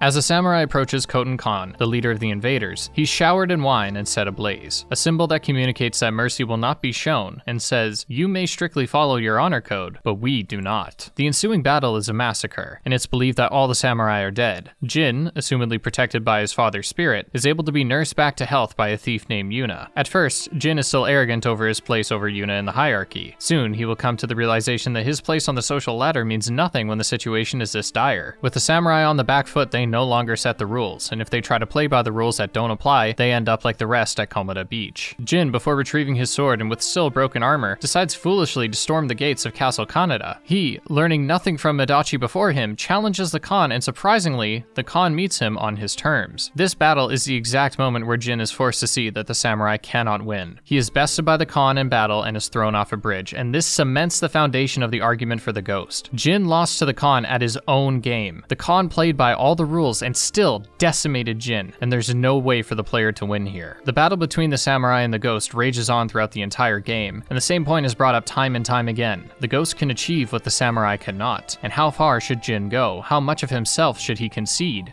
For his people. Throughout the opening act, as Jin rallies what remains of Tsushima's warriors, we see multiple flashbacks that reinforce what honor means to Jin, or what it is supposed to mean. Jin's father was killed by bandits, and his final words were a call for Jin to help him, and yet Jin was too scared to act. This scarred Jin, and he's carried this guilt his whole life. Fortunately, his uncle Shimura took him in and taught him the values of honor, which is to serve our lord and live with discipline. In this early scene, we can see a difference between Shimura and Jin, which is what they prioritize. Both believe that protecting the people and serving your lord is paramount to the samurai way, but Jin, unlike Shimura, will prioritize the people over his lord. Honor to Jin has always been about doing what needs to be done to protect the people of Tsushima, and even if he achieves this outside of the samurai code, he is still upholding his idea of honor, or at least his moral standards. Yuna begins to, perhaps unknowingly, exploit this weakness in Jin's ideology. What does dying for one's people mean if there are no people left? What does honor mean to the dishonored? The Mongols won't play by the rules, and it's clear that the lords, notably Shimura, don't know what they're doing. The Mongols have already beaten the samurai samurai ideologically, and any attempt by the samurai to take back the land will be and have been shut down. The commanders and their Khan have studied them to the point where the only thing capable of stopping the Khan is something he does not understand. This culminates in Jin's first dishonorable move, killing an enemy from the shadows. The way the game portrays this first kill is exceptional, as we see Jin not only struggle physically to take this life, but mentally too, mesmerized by the mess he's made before Yuna has to snap him out of it. Jin, from such a young age, was taught to look his enemy in the eye, strike quickly and with control, and he has done none of that. He, for assumedly the first time ever, fought dirty. It's not fair, but neither was a Mongol invasion. This transition is the focal point of Act 1. We build up this idea of the ghost, and we develop Jin's skill set. It's within Act 2 that we see Jin weaponize the fear his presence generates, and how his uncle reacts to the ghost. Act 2 is where the game's pacing picks up, though at the sacrifice of the pacing of Act 1. The culprit is Jin's allies. A majority of the missions here set up the side characters that'll help Jin on his journey, but that journey does not move very far when you're so focused on the prelude to Ishikawa and Masako's side quests. Kenji is introduced well enough, but his questline isn't great, so even there I struggle to praise it. It's not as though these quests are unneeded. Recruiting your remaining allies is integral to the plot, even if gameplay demonstrates that Jin alone could run through a small army. The issue merely arises when we look at how long it takes to gather our allies that we begin to understand why so many drop the game after the first act. While forging ties with Yuna and Taka, we defend a forge, save its people, and clear out the Mongols. The people see us in action, and Yuna begins weaving the tale of the vengeful ghost. It's inferred that this is the moment that the ghost legend begins, and I wonder if Yuna had the intention of inspiring so many with the ghost legend. If so, then this is yet another way she is integral to the plot, and it's a shame she never gets much credit for it in the story. But then again, it's not the point. Jin himself rarely receives credit for being the ghost. Many know the myth, but not the man, and most that do don't appreciate what the ghost represents. The most compelling of the characters met in Act 1 outside of Yuna is Ryuzo. Ryuzo and Jin have a long history with one another. It seems Ryuzo was a peasant growing up and had a duel against Jin during a tournament that, had he won, would have resulted in Ryuzo being promoted to samurai. Jin unfortunately won, and with fierce aggression,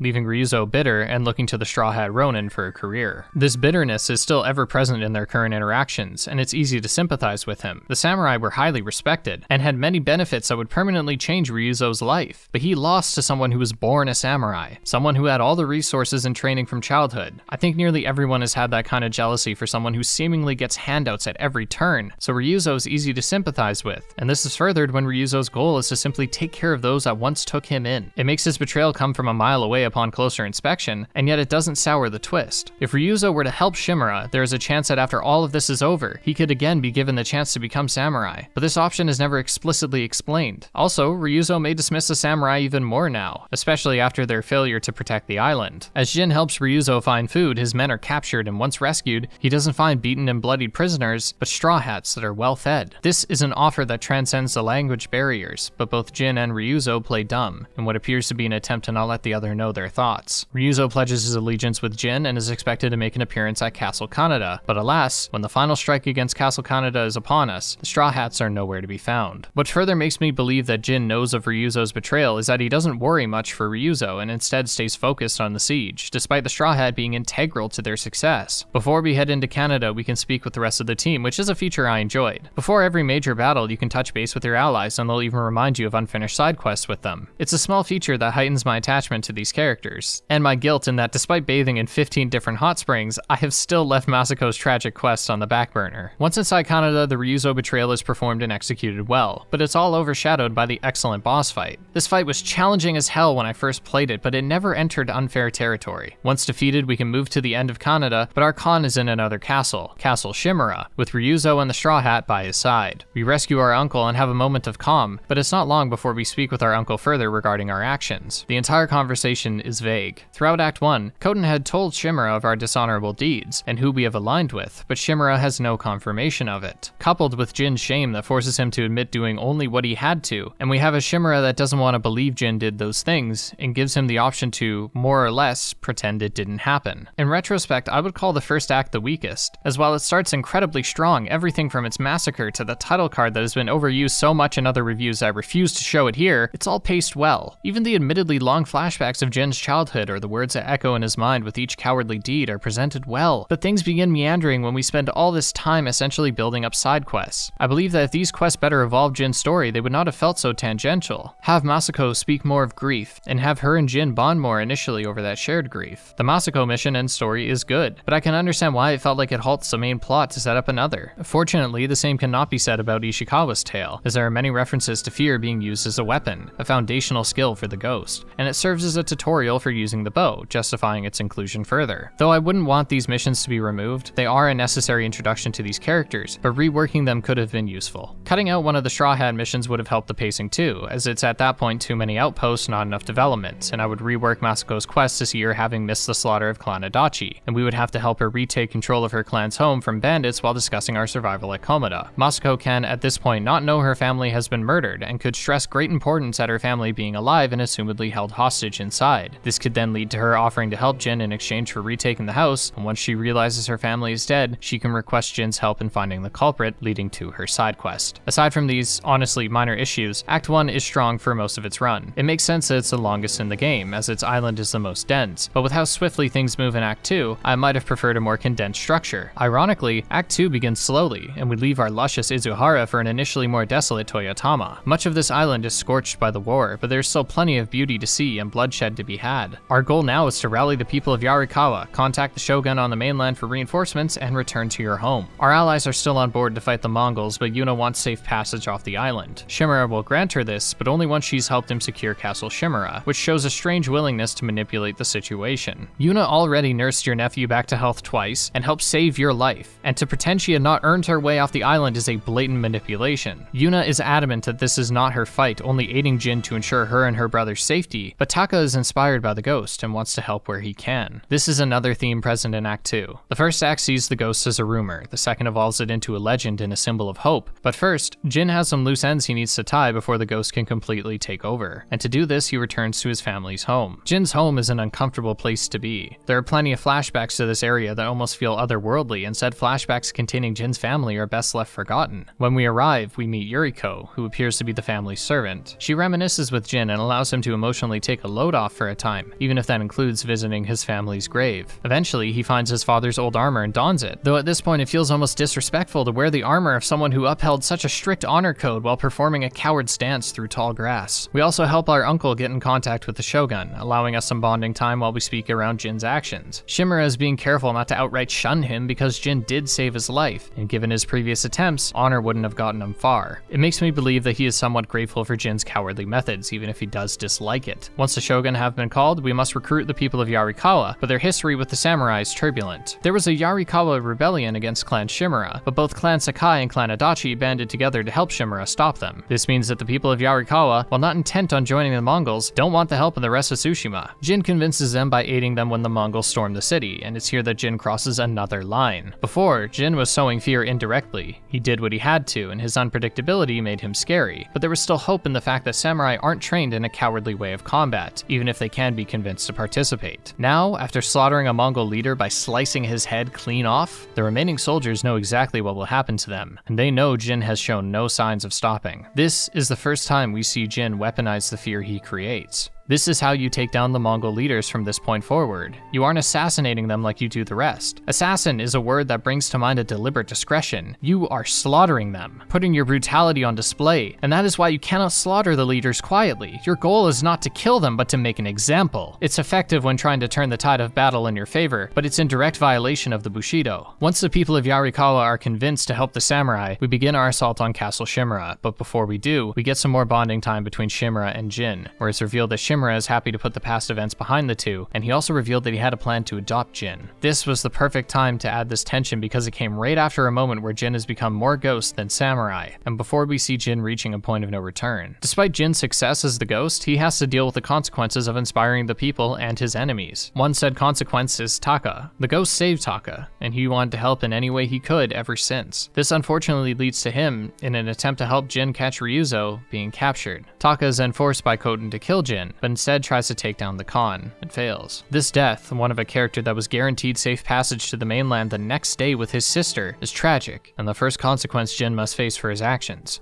Ah!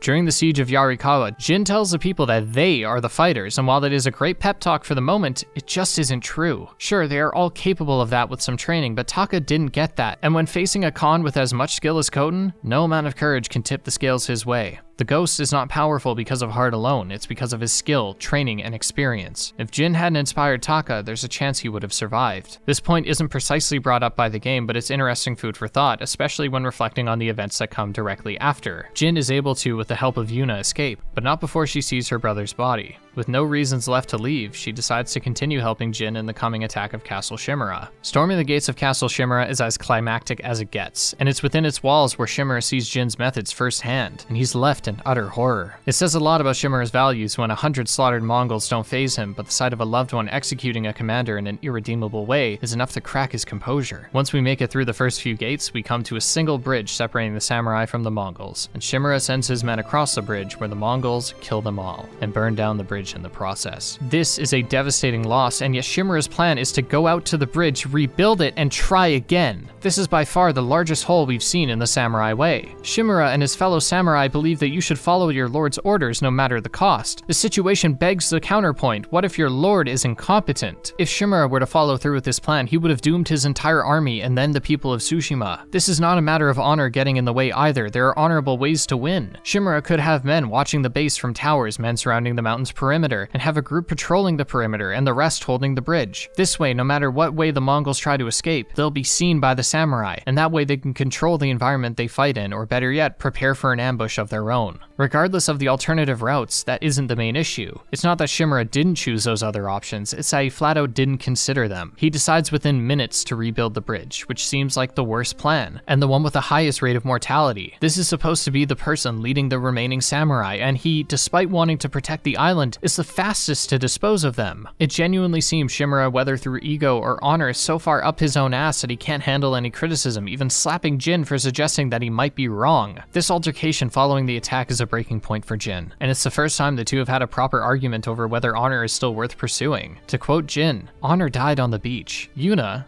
has a different plan. She encourages Jin to poison the Mongols. It would take them out, have the fewest samurai casualties, and the alternative is a death sentence. While Jin is initially hesitant, his argument with Shimura pushes him over the edge, and he performs his most dishonorable act yet. With the Mongols all dead, Jin moves to the Khan but only finds Ryuzo, explaining that the Khan has fled to the north. It's during yet another excellent fight against Ryuzo that we see more hypocrisy from Jin as he encourages Ryuzo to surrender and pay for his crimes. When Ryuzo counters with the obvious, that Jin broke his code, he says he simply did what he had to. Jin is a massive hypocrite throughout the game, and not because of any poor writing, but because he truly is a flawed and conflicted character. Jin knows the values of the samurai and the people, but when the people of Tsushima are at stake, any action, no matter how radical, is justified. Once Ryuzo falls and Shimura sees what Jin has done, he's forced to make a move, and we finally get a clear idea of what our consequences will be. Shimura explains that the Shogun will want someone's head, but he implies that if Jin renounces the ghost and blames the massacre on Yuna, his reputation and life can be saved. Even on Shimura's end, we can see how someone's honor can bend when the situation is dire. Shimura never liked Yuna because she was a thief, but he is now plainly showing a disregard for her life, and yet I can't help but sympathize with Shimura. His unofficial adoptive son is tarnishing what is left of his family name, and is acting like a monster. Shimura genuinely believes that answering to the Shogun, whether right or wrong, is the way to a good life, and he isn't wrong. Castle Shimura is a fortress, and compared to any of the other homes in Tsushima, it's clear which life is more comfortable. So perhaps his offer to sacrifice Yuna is not an inherently evil deed, but a desperate man doing what he can to stop his heir from practically dying before his eyes. It's a respectable effort, and yet it is in vain. Jin's decision to embrace the ghost is sound. Despite any emotional ties, Jin sees that the samurai aren't as effective as the ghost. I find it interesting, though, that Jin likely could not have done much without the samurai's training. Even in situations such as this, Jin is collected, stoic, and composed. He's aware of the sacrifice, but has the mental fortitude to make it, and the skills to back it up. Regardless, he submits, which I found odd. Jin likely could have escaped with a smoke bomb, but I feel like I'm walking the line in regards to nitpicks here. The upside of Jin being captured is a unique escape sequence where he has no weapons. It's here where we get an idea of what the ghost is to the Shogun, which is unsurprisingly a disgrace to the warrior's path. This leads to a chase and then the death of your horse. I feel like this is a common trope, but it was well done here. So often is Jin seen with his horse, Kage in my case, and what further sells this death is that while you can get a new horse, you cannot get one that looks like your old horse, and you can't give it the same name. It'll never be the same, and our new steed, in my case Nobu, never reaches the same connection. This may have been a product of luck, but Jin never told Nobu that they would one day go for a peaceful ride. I believe this is because by now, Jin knows better. He's too far gone, and even if the Mongols are beaten, he'll be hunted by the shogun for the rest of his life. As Jin continues to journey on, he falls to the Mongol poison, before barely being saved by Yuna. This is expanded upon later, the ramifications of Jin poisoning the Mongols. It seems they were able to reverse engineer the poison and are preparing to mass produce it and deploy said poison on the mainland. This likely would not have happened without Jin, and it's the biggest counterpoint to the Ghost. The Ghost was necessitated by an enemy that didn't play by the rules. Jin's initial efforts were in line with what the Mongols did, sneaking, brutality, and bloodshed. But when Jin raises the bar to his enemies, they raise it back against his greatest weakness. Jin's goal is to protect the people of Tsushima, and when the Mongols use his own tools against the Ghost, their target isn't the elusive figure himself, it is the people. It makes sense then to blame every poisoned citizen on Jin. The problem the island faces is that the Ghost may become the standard, and if that's the case, then the samurai will lose their power, and this is why the Ghost is an inherent threat. The final act is the most focused of the three, and it is also its shortest. Jin is left with no one but Yuna, and is exiled from much of the island. We have an excellent mission where we must, without killing anyone, sneak back into Castle Shimura to deliver a note requesting the Shogun's help in killing the Khan, and once we regroup with our allies, we make a play for Khotun. And unfortunately, I found this to be one of the weakest fights in the game. Khotun's first phase is challenging, varied, and fun, but his second phase sees him acting as a regular enemy amongst a crowd. What furthers my disappointment is the poison arrows, which will obscure your vision until you heal to get rid of its effect. It means I'm forced to use valuable resolve for what would otherwise be a minor chunk of damage, and when there are this many archers and attacks to watch out for, it doesn't really feel fair, and perhaps that's the point. The Mongols have fought dirty throughout the entire story, and it's only appropriate that the Khan does not respect the rules of the samurai or even the rules of the game up to this point. Regardless, the Khan eventually does fall, with both the Ghost and the Khan telling the other that they won't be remembered, and both are correct. The Khan won't be remembered because he failed. His memory will be his proximity to success, if he's ever remembered at all. Jin, on the other hand, at most, will be a rumor. Jin Sakai died on Komoda Beach, and there's a high chance that the Shogun will perpetuate the myth of the ghost, because if the people knew he's real, then he acts as a living symbol of samurai defiance. To save the reputation of the samurai, they will likely pretend that he died with his fellow men on the beach. The same was true for Tadayori. I felt that while killing the Khan was underwhelming, I also feel that it was meant to be underwhelming. While slaying the Khan was our goal, the story has little to do with him, and instead the Khan's death is a victory lap. Now that the ghost has full control over Jin's vessel, Jin escapes the Khan's burning ship with Yuna and the two part ways, with both being alone. Yuna explains to Jin that he belongs to everyone, and this is true. He is the symbol of hope that has emerged from this attempted invasion, and even if he had to dishonor his own name to save the people, when it's life or death, it's hard to argue that honor still prevails. Now with little else to do, Jin attempts to reconnect with his uncle. The two share a walk at the home of Clan Sakai, and it's here we see the in-person effects of the ghost. As a citizen explains to the two that the ghost is building an army. Shimura, whether he believes Jin's reassuring words, explains that the ghost alone is a symbol of defiance, and its existence undermines the samurai's power. As we approached our destination, I began to think about what Shimura was going to do after all this, and then it clicked. We are sitting at the graveyard of seven generations of Sakais. Jin is a traitor, Shimura is loyal to the Shogun, and the Shogun wants him dead. Oh no. Just as I realized what was happening, Shimura began to tear up, and I now understand why the Khan fight got a bit underwhelming, because the Khan was never the true antagonist. The real antagonist is the samurai's honor code, and his last stand is Lord Shimura. The two are the last remaining members of their respective clans, and they take their time to write their final words. This scene is shot so beautifully. On the right side, we have Shimura, shrouded by a tree that I believe symbolizes age and tradition. He lives under the honor code and will follow their tenets no matter how outdated they might be. On the left, there's Jin, who's under a bright sun, symbolizing a new age, specifically the new methods that must be adapted before the samurai further become victims to their honor. It's here that we get the climax of the two ideologies, and their clash is made as clear as day. During the fight, we unravel even more tension about how Shimura feels Jin is a failure, and this is dialogue I heard plenty of because I died many times to Shimura. I was told that it was one of the easier fights, but not for me, and I'm glad it wasn't because I know something heartbreaking. In every battle, no matter the enemy, when you're struck down, they will stand over your body and deal the final blow. The only enemy to not do this is Shimura. This is a small detail that reinforces his hatred for what he must do. Whether it's hesitation or respect, it says more than words. Throughout the game, we have been at odds with the Samurai Code, and we've never had a choice in becoming the Ghost, and yet once this fight is finished, we're given our first actual choice to kill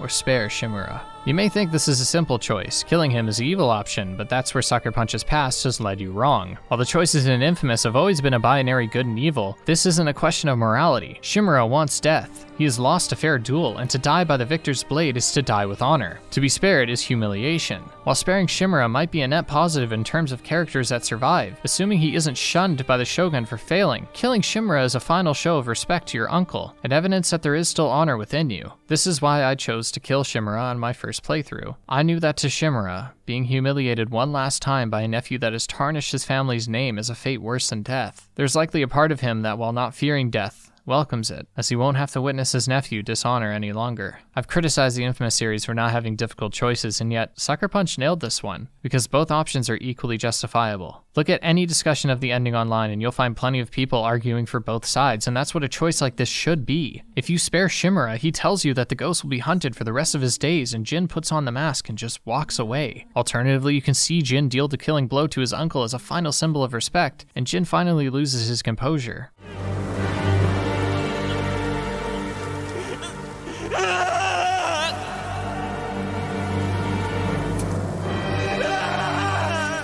Throughout the entire ordeal, Jin is able to keep it together, but finally killing his uncle breaks him. The game ends with a beautiful song paired with a fade to white, and it's credits from there. After the credits, Jin wakes in an abandoned house he now calls home, filled with trinkets from his adventures. It's a somber but appropriate end to the story. It was always going to come to this. Jin's descent into the ghost is so well done because it's not clear cut. Evidence of this is any discussion online, which sees people going back and forth over when Jin fully becomes the ghost. While the Khan might not be the true antagonist of the story, he works exceptionally well as a villain. I already mentioned how intelligent he is, but I also appreciated how reasonable he was. Not reasonable in the fair sense, but in the sense that he only tortured as long as the people resisted. At multiple points, he gives both Jin and Shimura the option to surrender, and the Khan rarely acts out of emotion, instead doing what is most logical most of the time. There's an argument to be made that by the time the Khan has Jin tied up that he should have killed him, because Jin was already too much trouble for him. We could also view his many offers as a taunt, because surely he knows the samurai would be too arrogant to even consider an offer, regardless of how many casualties are suffered. Overall, I thoroughly enjoyed the story told in Ghost of Tsushima. It paid homage in so many ways to the samurai films that inspired it, and yet remains unique in its take on the honor code. When people discuss the game, one of the first talking points is always the story, and it's easy to see why. It's full of twists, drama, and some damn fine characters enhanced by their side quests. I'll admit that things slow down near the midway point of Act 1, and Act 2 is slow to start, but by the time you hit the Siege of Yarikawa, it's a roller coaster until the end. I also appreciated that this game does not take a definitive stance on everything. Whether Jin is wrong or right in his actions is debatable, because while he does help the people, he inadvertently hurts people too. On the other hand, the Samurai Code ideally is admirable, but as the game immediately deconstructs, this honor only works when everyone follows the rules, and it further crumbles when the samurai abuse status, and begin seeing those under them as resources in a war. Whether it was right or wrong, the ghost was a necessity, and its evolution from a rumor to a widely believed legend is satisfying. But the ghost is not the only legend. The game itself has achieved a status many games would dream of, and this status is likely what inspired the director's cut of the game, along with a free content update that introduces the Legends game mode.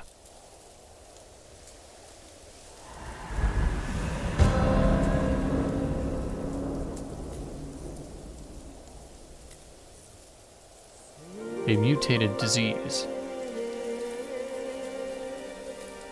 Plaguing another victim. Infecting the bliss.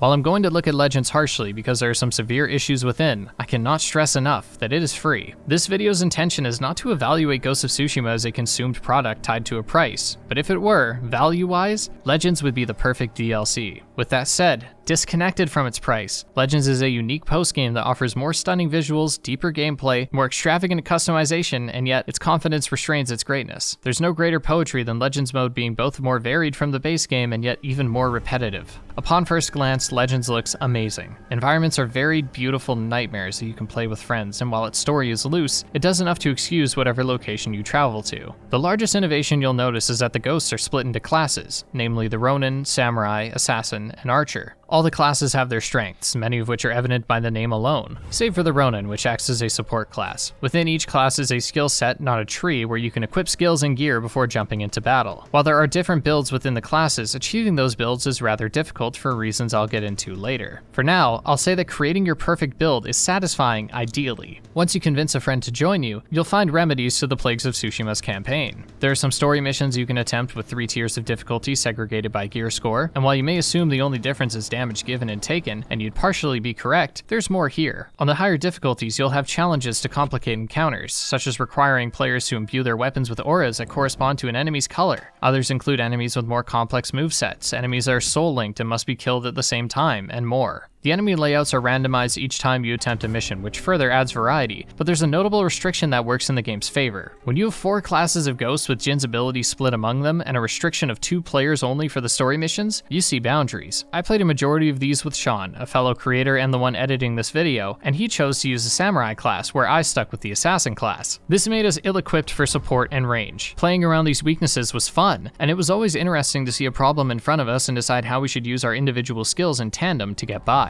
Each difficulty has a level range, and when you're on the lower end, you'll find that you have to be more tactical, but by the mid range and up, it's just cruising. At the end of a challenge, you're given a bit of loot, and it's here that we see a frustrating part of Legends mode. The loot you receive is often solid, but is influenced by the gear you have equipped. For example, if your gear score is 50, you will always receive gear slightly better than that. Raising gear score isn't just important for progressing your characters, but many game modes are gated by a minimum gear score requirement. You'll often have to sacrifice your gear for one that is worse but has a higher score. For example, I can't stand the blow darts, and I frequently get less mileage out of it compared to the bow. Despite this, because I hadn't gotten a bow dropped for the last few runs, I was forced to use a ranged weapon I didn't enjoy because I needed to raise the overall gear score and thus the rewarded loot. You can re-roll an item to potentially increase its gear score, allowing items to have some longevity, but it costs a lot of resources to do so. At times, I had a perfect build where every piece clicked together, but in others, I was sacrificing at every turn and feeling more frustrated than anything. So, if you can't have variety in gear, you could swap classes. But here we have another issue, which is that because each class starts from zero with no skills, swapping to a different class at any point past the mid game is further debilitating and incites a longer grind. But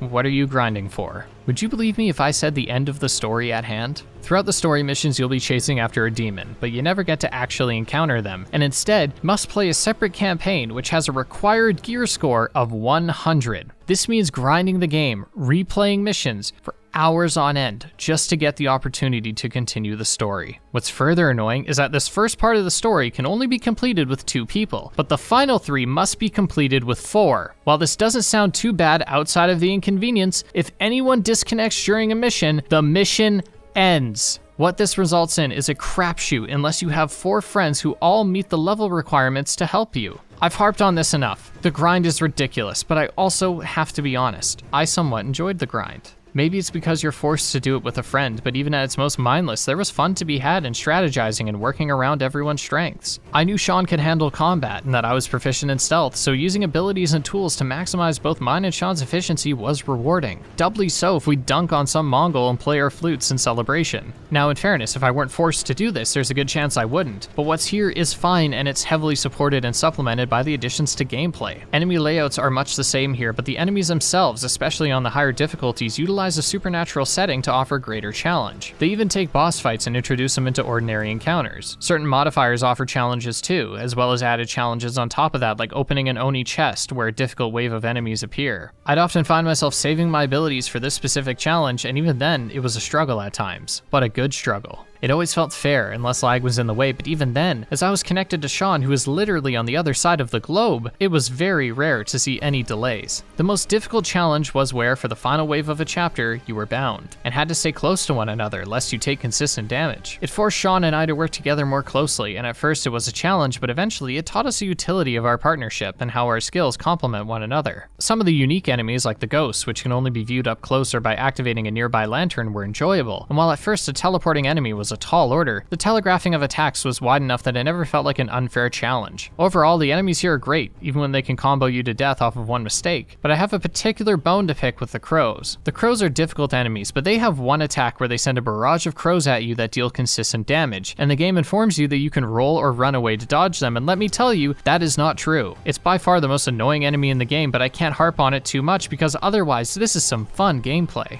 To give some context to the next section, I like endgame raids. I loved Borderlands 2 and farming bosses with my friends, and half the reason it was fun was because you had to work for it. Sure, you could do it solo, but it was very discouraged. So I expected the Tale of Iyo to be a truly epic challenge. And as my anticipation reached a boiling point, I had a thought. What if this is comically underwhelming? After reaching Starro and Gotham Knights, I've had trust issues, and you know what? The Tales of Iyo have some real high points, but the low points left me dumbfounded. The Tales of Iyo are challenging, reward insane gear, and provide great set pieces, but it's also the most frustrating, tedious gameplay in Ghost of Tsushima that was so bad it became funny. It may not seem this way at first, as the beginning chapter is a run of the mill mission that is more difficult, however, there is a new mechanic and running issue that is introduced, which is the Soul Rings. It's a basic challenge where you have to kill an enemy inside a ring, but as you stay in the ring, you become corrupted. If your corruption becomes too high, then you have to go to a separate ring to have it drained. Once you've killed enough enemies, a mechanism will activate. This is a fine puzzle, but the issue I take with it is that there is no instruction or tutorial for it. Granted, it was easy enough to figure it out. Myself and Shaun brute forced it after a few minutes. Then we got to chapter 2. Chapter 1 was about half an hour, which is a solid length for an endgame challenge. Chapter 2, on the other hand, can take hours on a first attempt, and even experienced players can spend up to 45 minutes on it. You may think that this is because we get to engage with the excellent combat, and you'd be half right and half abhorrently wrong. The chapter begins like normal until you reach a segment where there are three attunements that correspond with platforms that only appear if the person with the correct attunement lands on them. This alone isn't too bad, but here's something you may not realize. The one person who does not have the attunement is the only one who can see what attunement is required for the next platform. This is beyond tedious, and when you are playing with people who do not have microphones, you can imagine the brutality this is on your brain. And mind you, this is not a single puzzle. This gimmick is reused throughout the entire chapter, and later on there are time limits too, making this borderline impossible without a microphone. Shaun and I were able to matchmake with some randoms to get this sorted, but eventually they started jumping off every time and without explanation. They had no mic, so we tried to message them and we got no response. So now not only did we dump 30 minutes into getting this far, but then we had people throwing and eventually leaving the game. But here's the thing, we later found out that they weren't throwing, and rather trying to convince everyone to jump off the ledge. It's a common glitch that lets you skip a portion of the chapter, which is great, but there's no way me and Shaun were supposed to know that. Anyways, after we realized that attempting this with randoms was not the intended experience, which was supported by my research as we found that public matchmaking wasn't introduced until after the launch of Legends, we sent out the signal flare via Twitter and a YouTube community post, and I want to take a moment to thank everyone who offered help.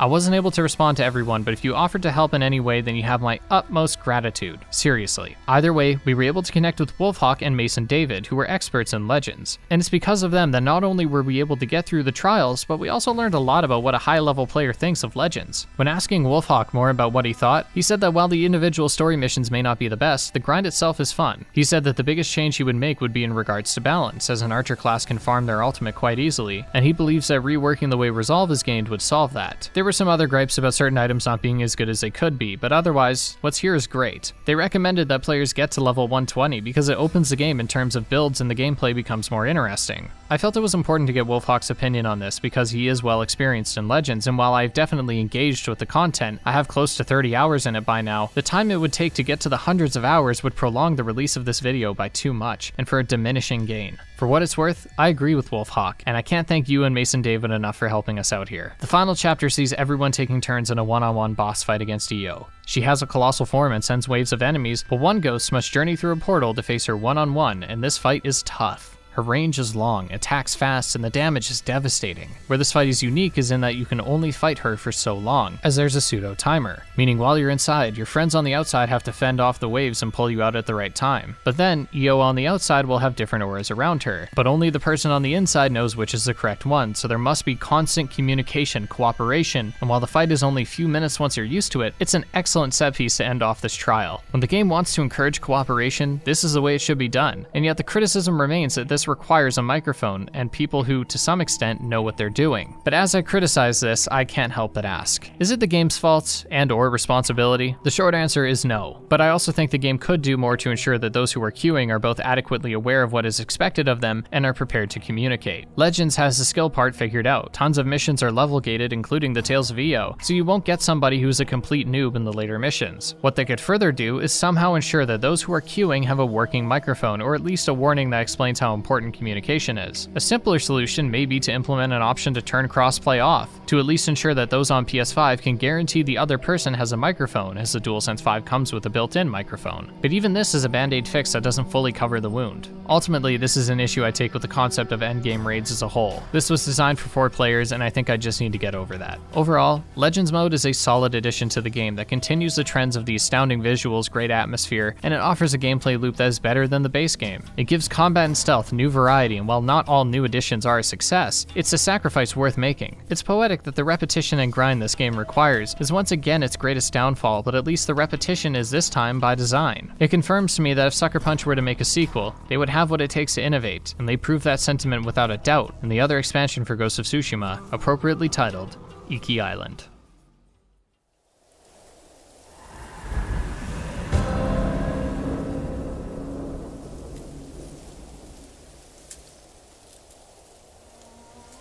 A Master's Footnote A blade's dull edge unsharpened.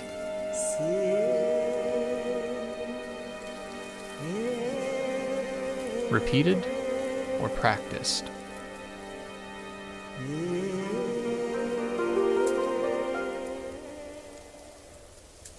While the story of Ghost of Tsushima is focused and wrapped up nicely, there are a few loose ends left untied, one of the most glaring being Jin's father. The death of Jin's father is one shown to us many times, and his spirit is ever present. But what of Jin's feelings on this? Well, the writers have a problem, because Jin's stoicism halts most attempts at introspection. While there are moments of reflection regarding events, they are minimal, often delegated to a hot spring or a haiku. But the death of Jin's father before his eyes is not something to be cleansed by water or words. Another question to ask is, what was Clan Sakai like? We know that there's plenty of resentment for the samurai to go around, as Ryuzo and Yarikawa alone will prove, but what about Kazumasa? This is what Iki Island is about. It's about discovering more of Jin's past and forcing ourselves into his previously locked mind. We arrive on Iki Island to investigate some Mongols who are reportedly serving a woman named the Eagle, who plans to, with the use of a hallucinogenic poison, conquer the people of Tsushima. Iki Island is very much like Tsushima. It's vast, luscious, and we get the chance to start over in a few ways, learning new techniques and building a new legend, because the people of Iki haven't heard of the ghost. This DLC is more Ghost of Tsushima, with the benefit of a few addendums. Things like difficulty are properly addressed here, and the visuals get even crazier as we progress. When traveling to Iki, our boat is struck down, and upon trying to take down the eagle herself, because some of that samurai arrogance is still within Jin, he's captured and forced to drink her poison. Jin begins experiencing visions of his past, his guilt, and these intrusive thoughts are a perfect way of prying open Jin's mind. We eventually are aided by a raider named Tenzo, who is remarkably older than Jin, and has a deep hatred for his father, not knowing Jin's true identity. He introduces Jin to the rest of the raiders who share the hatred for the Sakai name, to the point where the game won't allow you to don your Sakai armor until your identity is revealed. We prove our allegiance to the raiders and eventually take down the eagle, while uncovering along the way the atrocities Jin's father had committed. There is an argument made throughout the DLC that perhaps Kazumasa had what was coming to him. The samurai, for all the good that they did and for how beneficial they were on paper, were not always right, and if there's one thing the base game showed us, it's that the samurai have indirectly killed a lot of people either through a stubborn adherence to an honor code or through their lord's exceptionally poor leadership. The conflict on Iki isn't as simple as it seems, though. Iki Island is a dangerous place because of its high density of raiders and bandits. The samurai arrived to try and enforce their law, their code, onto them, which resulted in resistance. This resistance fed into more punishment from the samurai until things reached a boiling point. The raiders, under the assumption that the samurai were there to kill them, had murdered some samurai in their sleep, which then prompted the samurai to slaughter the raiders and the innocents that were aiding them. In short,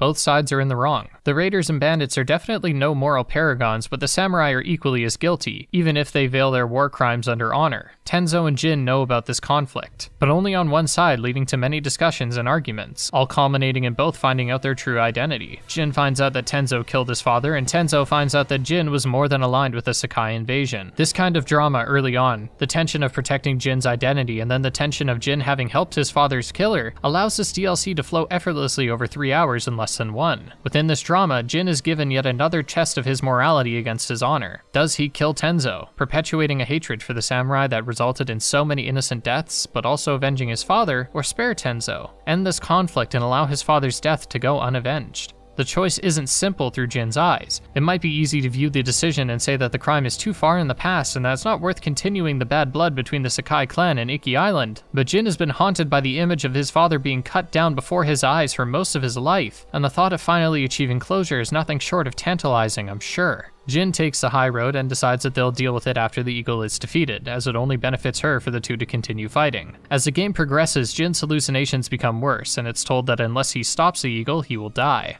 This added tension doesn't land as well because it's not explained how exactly beating the crow would get rid of the hallucinations, and when you do defeat her, the hallucinations just disappear. It's not a big deal, but it's shown that many, even after the eagle's death, are suffering from the poison, so what's different for them? Maybe the only way to cure yourself is to work through the pain that the hallucinations show you. But there are hallucinations regarding the trust of the raiders, Lord Shimura, and yet those are relatively unresolved. It is stated in a side quest that Jin was able to overcome the hallucinations through accepting his fear, and it's likely unrealistic to act like the hallucinations should only leave upon confronting and accepting every issue in Jin's life, but regardless, these hallucinations are increasingly enjoyable, as we get appetizers to the eagle's fight. She appears in these hallucinations and seems to be yet another easy fight, but let me assure you, her actual fight is significantly harder. She attacks quickly, has change-ups in her combos, and enough health to make this a test of endurance as much as it is a test of skill. It's one of the most challenging fights in the game, yet it doesn't go into unfair territory. Once defeated, we get our final trip, where we relive the fateful murder of Kazumasa. Only this time, we have the opportunity to rise up and strike down Tenzo. Jin, once again, makes the wise decision to spare Tenzo, and learns to move forward as allies. I appreciated that there wasn't a choice like there was with Shimura. It's pretty clear that the correct choice is to spare Tenzo, and while I can appreciate the closure his death would bring, Jin's journey on Iki is not to avenge or redeem his father, but right his father's wrongs. While both sides were wrong in many ways, there's a part of me that believes Kazumasa had it coming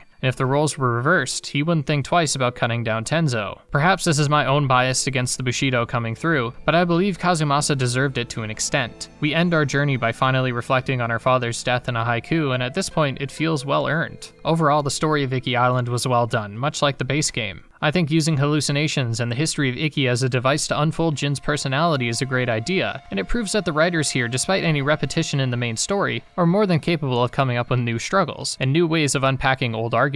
Repetition is used well this time, as certain tropes like your horse dying and Yuna arriving to save you are used against the player in a humorous way. We only believe these fakeouts because we know Sucker Punch is capable of recycling ideas, and I couldn't help but appreciate the way they turned a weakness into a strength here. The quality continues into the side content, which while similar to the main game in concept, is also similar in enjoyment, for better or worse. Side content is the same business of clearing outposts and helping the people, but fundamentally there are some sorely needed changes to combat. When first traveling to Iki, you receive a warning that the enemies here will be a cut above the rest, and that rings true. The biggest addition is the shamans, who through performing a chant can put their Mongol underlings into a state of rage where they can attack constantly. It is still possible to attack these enemies when they're in their trance, but it's significantly harder, meaning your best bet is to go for the shaman. And this is the exact kind of restriction I was looking for when I criticized the South. When you enter a camp, ones that this time around have what feels like fewer hiding spots, you'll be actively scanning the area to see where the shamans are so you can take them out first, and often they are in very tricky places. This gives stealth more of a challenge and thus makes it less repetitive. When we block off the easy route, we are forced to get creative, and the same is somewhat true in combat. While the shamans in combat translate to a loop of immediately running towards them, I appreciate that their inclusion adds some kind of variety. The other new enemy type is a brute that wields a double-bladed staff, and these guys suck. Not because they're poorly designed, but because they kick my ass like you wouldn't believe. Fortunately, in one of the two mythic tales, we can obtain a possessed suit of armor that, at the cost of blocking, allows us to more easily parry, perfect dodge, and deliver harder blows. This is an excellent trade off that rewards aggression plenty, though I won't lie, I had to stop myself from using it because it just needlessly shreds through health bars. I like this as an endgame item, and the quest itself was well rounded, seeing you using flaming arrows to find your way through a cave, eventually having a duel. It's run of the mill, as is the hunt for the horse armor of Kazumasa Sakai. Seeing Jin face the facade of a storyteller and eventually interrupt the story made sense, and it was a major step for redeeming the Sakai legacy. At first, I was confused as to why Jin cared so much for redeeming the legacy of someone who is no longer around, part of a now disbanded samurai clan, the bloodline of which is entirely dishonored. But I realized that Jin's purpose in helping the people is not to redeem his father or the Sakai name, but to tie up loose ends. Obviously, saving a few raiders won't make them all square, but it sets a precedent going forward that the Sakai name no longer breeds fear. Once his father's conflicts are resolved and his wrongs rectified, he can rest, and so can Jin.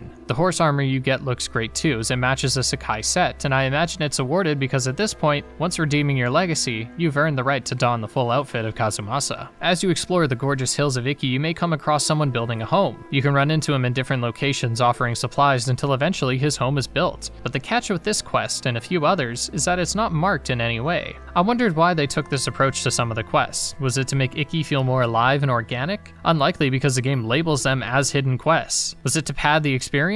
Also unlikely because the DLC is already quite long when including the side content. Regardless, the quests and activities here are varied enough, but fall into the similar traps of clearing a base or only tapping a few buttons. I enjoyed the variety of songs you play, even if it is a Japanese trombone champ, but it's still not the mechanical step up people were likely hoping for. As argued previously, there's a chance that the step up isn't needed or even possible, but the point remains. This is more Ghost of Tsushima, and while there are plenty of new things here, the fundamentals, right or wrong, are the same. The two most prominent new tools are the horse charge and the grappling hook, which receives new utility. The horse charge allows patrolling the wilderness to be more efficient, and it is helpful when targeting the stronger enemies before a fight ensues, but the grappling hook pull ability was downright unneeded. In the beginning of the DLC, you're shown to be able to pull down certain objects with a very tedious and slow animation, and while that is helpful in some scenarios, scenarios, in many instances, you are pulling down a wall of bamboo that is directly in front of you, which Jin could easily cut down with his sword. In fact, he does it with ease many times in the main game and here. I would have enjoyed some use of this in combat. Maybe have an ability where if Jin is behind an enemy, he can pull them on their back, allowing for a follow-up attack. But in its bare bones state here, it feels more redundant than anything. Another feature that I did not care for was the return of Kenji, whose quest, while entertaining, still has relatively little to say in my eyes, which while likely not the intention, he's always been a vehicle for comedy, it was disappointing here because the DLC tries to have a touching side moment, and it doesn't stick the landing in my eyes. When assisting Fune in a quest to rescue her daughter, we're told that she lost her daughter years ago, but not why or how. Once we find her, we see that she's beyond saving, having seemingly overdosed. We're only then told that Fune's daughter had a long history with addiction after being exiled from the Raiders, with Fune even finding finding her years later stuck in a trip, having soiled herself for days on end. Fune couldn't even bring herself to wake her daughter when seeing her in that state,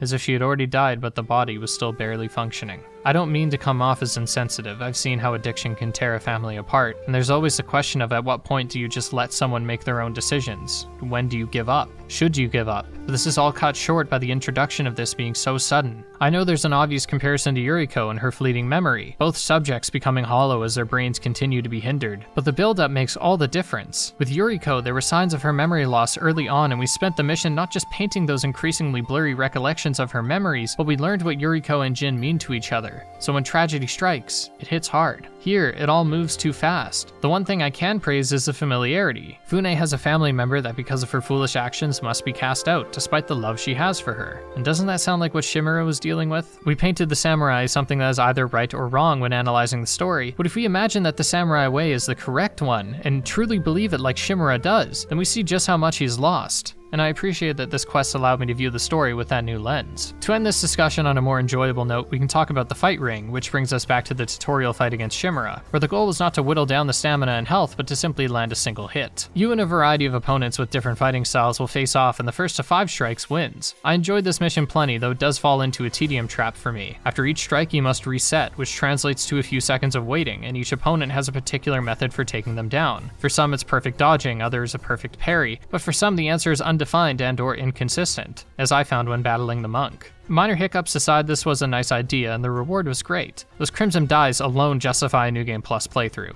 Overall, the Iki Island DLC was done right. I couldn't shake a feeling during the main game. Was Sucker Punch's success, in spite of this game being a contradiction to their prior releases, the work of experts or a beginner's luck in a new field? Iki Island is a resounding answer. This was no accident. Sucker Punch have proven themselves not only to be masters of their craft, but ones capable of range and diversity. I was not anticipating a sequel for Ghost of Tsushima, but after seeing how much better the gameplay can get, deeper the stories can be, prettier the world can bloom, I already can't wait. But if a sequel were to occur, then we need a fundamental change to the level design. While Infamous is the antithesis to Ghost of Tsushima, the two games cannot be more alike in objectives. Both see you dropped into a scenario with the player taking responsibility over their challenges and aesthetic goals, and much of the side content doesn't involve the abilities and skills you've been honing over the course of the game. This is Sucker Punch's fatal flaw, but it's one they're more than capable of correcting if they want to.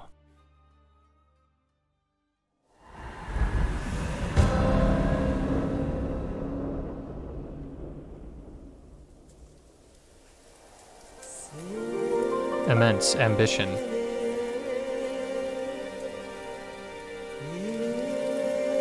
Met face to face once again.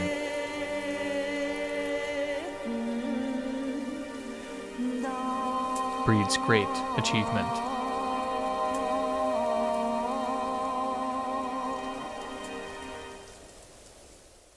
Few games have spoken to me in the way Ghost of Tsushima has. Its picture of honor lost is one that extends beyond the samurai code. It's an argument for desperation and how it strains, at times breaking, the arbitrary chains that bind our actions. I reflect on this in my own life. Anyone who talks about games has varying degrees of credibility and respect. In my case, I need to, in my actions, present my point of view with honesty and sincerity, so that my audience can trust that I will, even if I'm wrong, tell them how I honestly feel. This credibility isn't entirely controlled nor defined by me. Some have mentioned that they feel I lost credibility because of inconsistencies between reviews or because my opinion did not match and therefore validate their own. This makes me want to disregard credibility as a whole because I feel it's less about being right and more about being honest. Honest, and even if there is no logical reason that I feel the way I do, so long as I state it plainly, I consider my job done honorably. But when desperation strikes, we're forced to compromise. Many consider sponsor segments of videos to be harmful towards credibility because it shows the viewer that you are willing to sell your voice. I'd love to never have ads in videos, no sponsorships, no Patreon plugs, no mid-rolls. Choose my topics on what interests me and not what interests the algorithm. But when rent is due, sacrifices need to be made. Furthermore, what good is credibility and your legacy if you're never good enough to be granted, at minimum, survival? Inflation, bills, and the Canadian housing crisis don't care about your credibility. The reality is, sacrifices need to be made, and they're easily justified by the understanding that I'll never be good enough to be the best, and that my works will be forgotten as quickly as they are disregarded. And that's okay.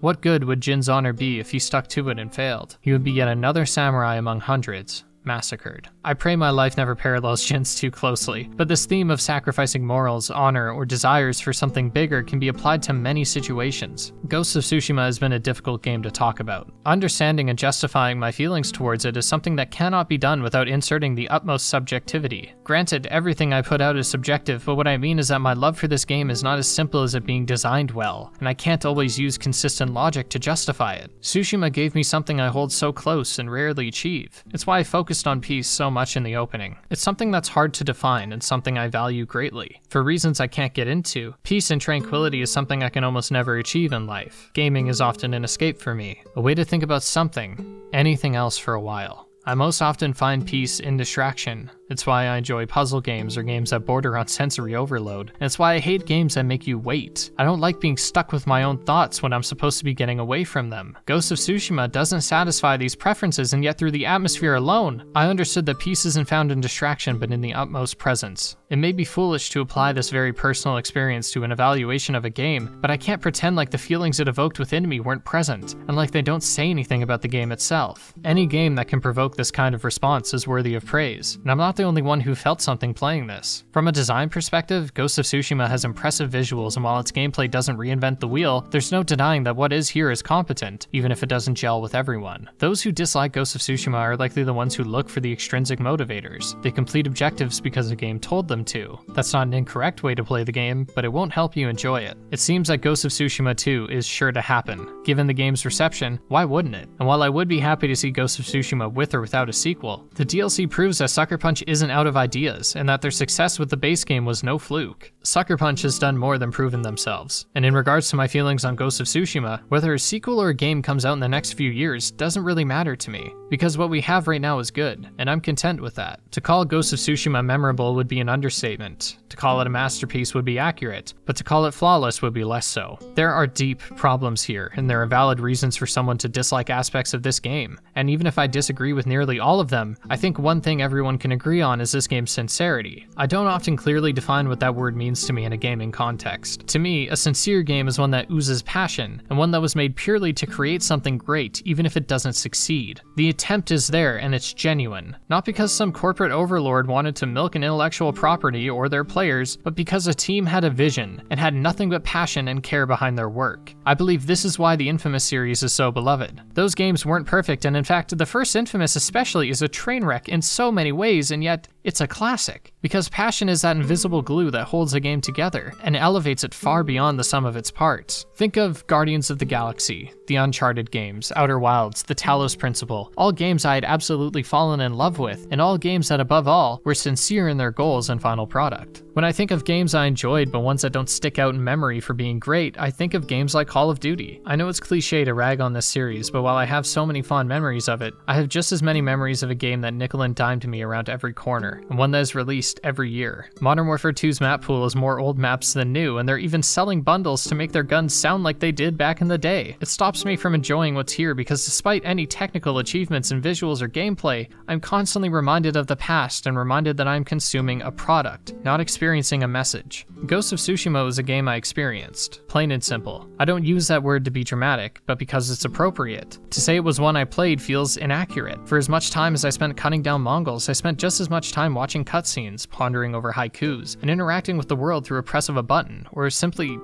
breathing it in. To say it's a game you play is exactly why some don't like it. Ghost of Tsushima is best experienced not with a tunnel vision zeroed in on a set goal. It's best experienced when you take it all in. Don't be afraid to climb up that mountain to find what sits at its peak, but on the way up, look around. Smell the roses. Reflect on your journey, and reflect on yourself and your efforts. Ghost of Tsushima doesn't always succeed in its efforts. It may not be the best, but it shows a clear effort to be the best it can be. Jin does the same. He isn't admirable because he succeeds, in many ways he doesn't, but he tries regardless, and that's what makes him admirable. This was one of the most difficult videos I've ever made. Not knowing what to mention, what to omit, what to take a definitive stance on, what to concede, how to deliver my lines, how to convey my feelings. This likely won't be the best Ghost of Tsushima video. I might never create something perfect or better than my contemporaries. Hell, this might not even be a good video. And maybe all my efforts only ever result in a splinter above mediocrity. But I know I tried. And I know it was my best. And in that, I can find peace.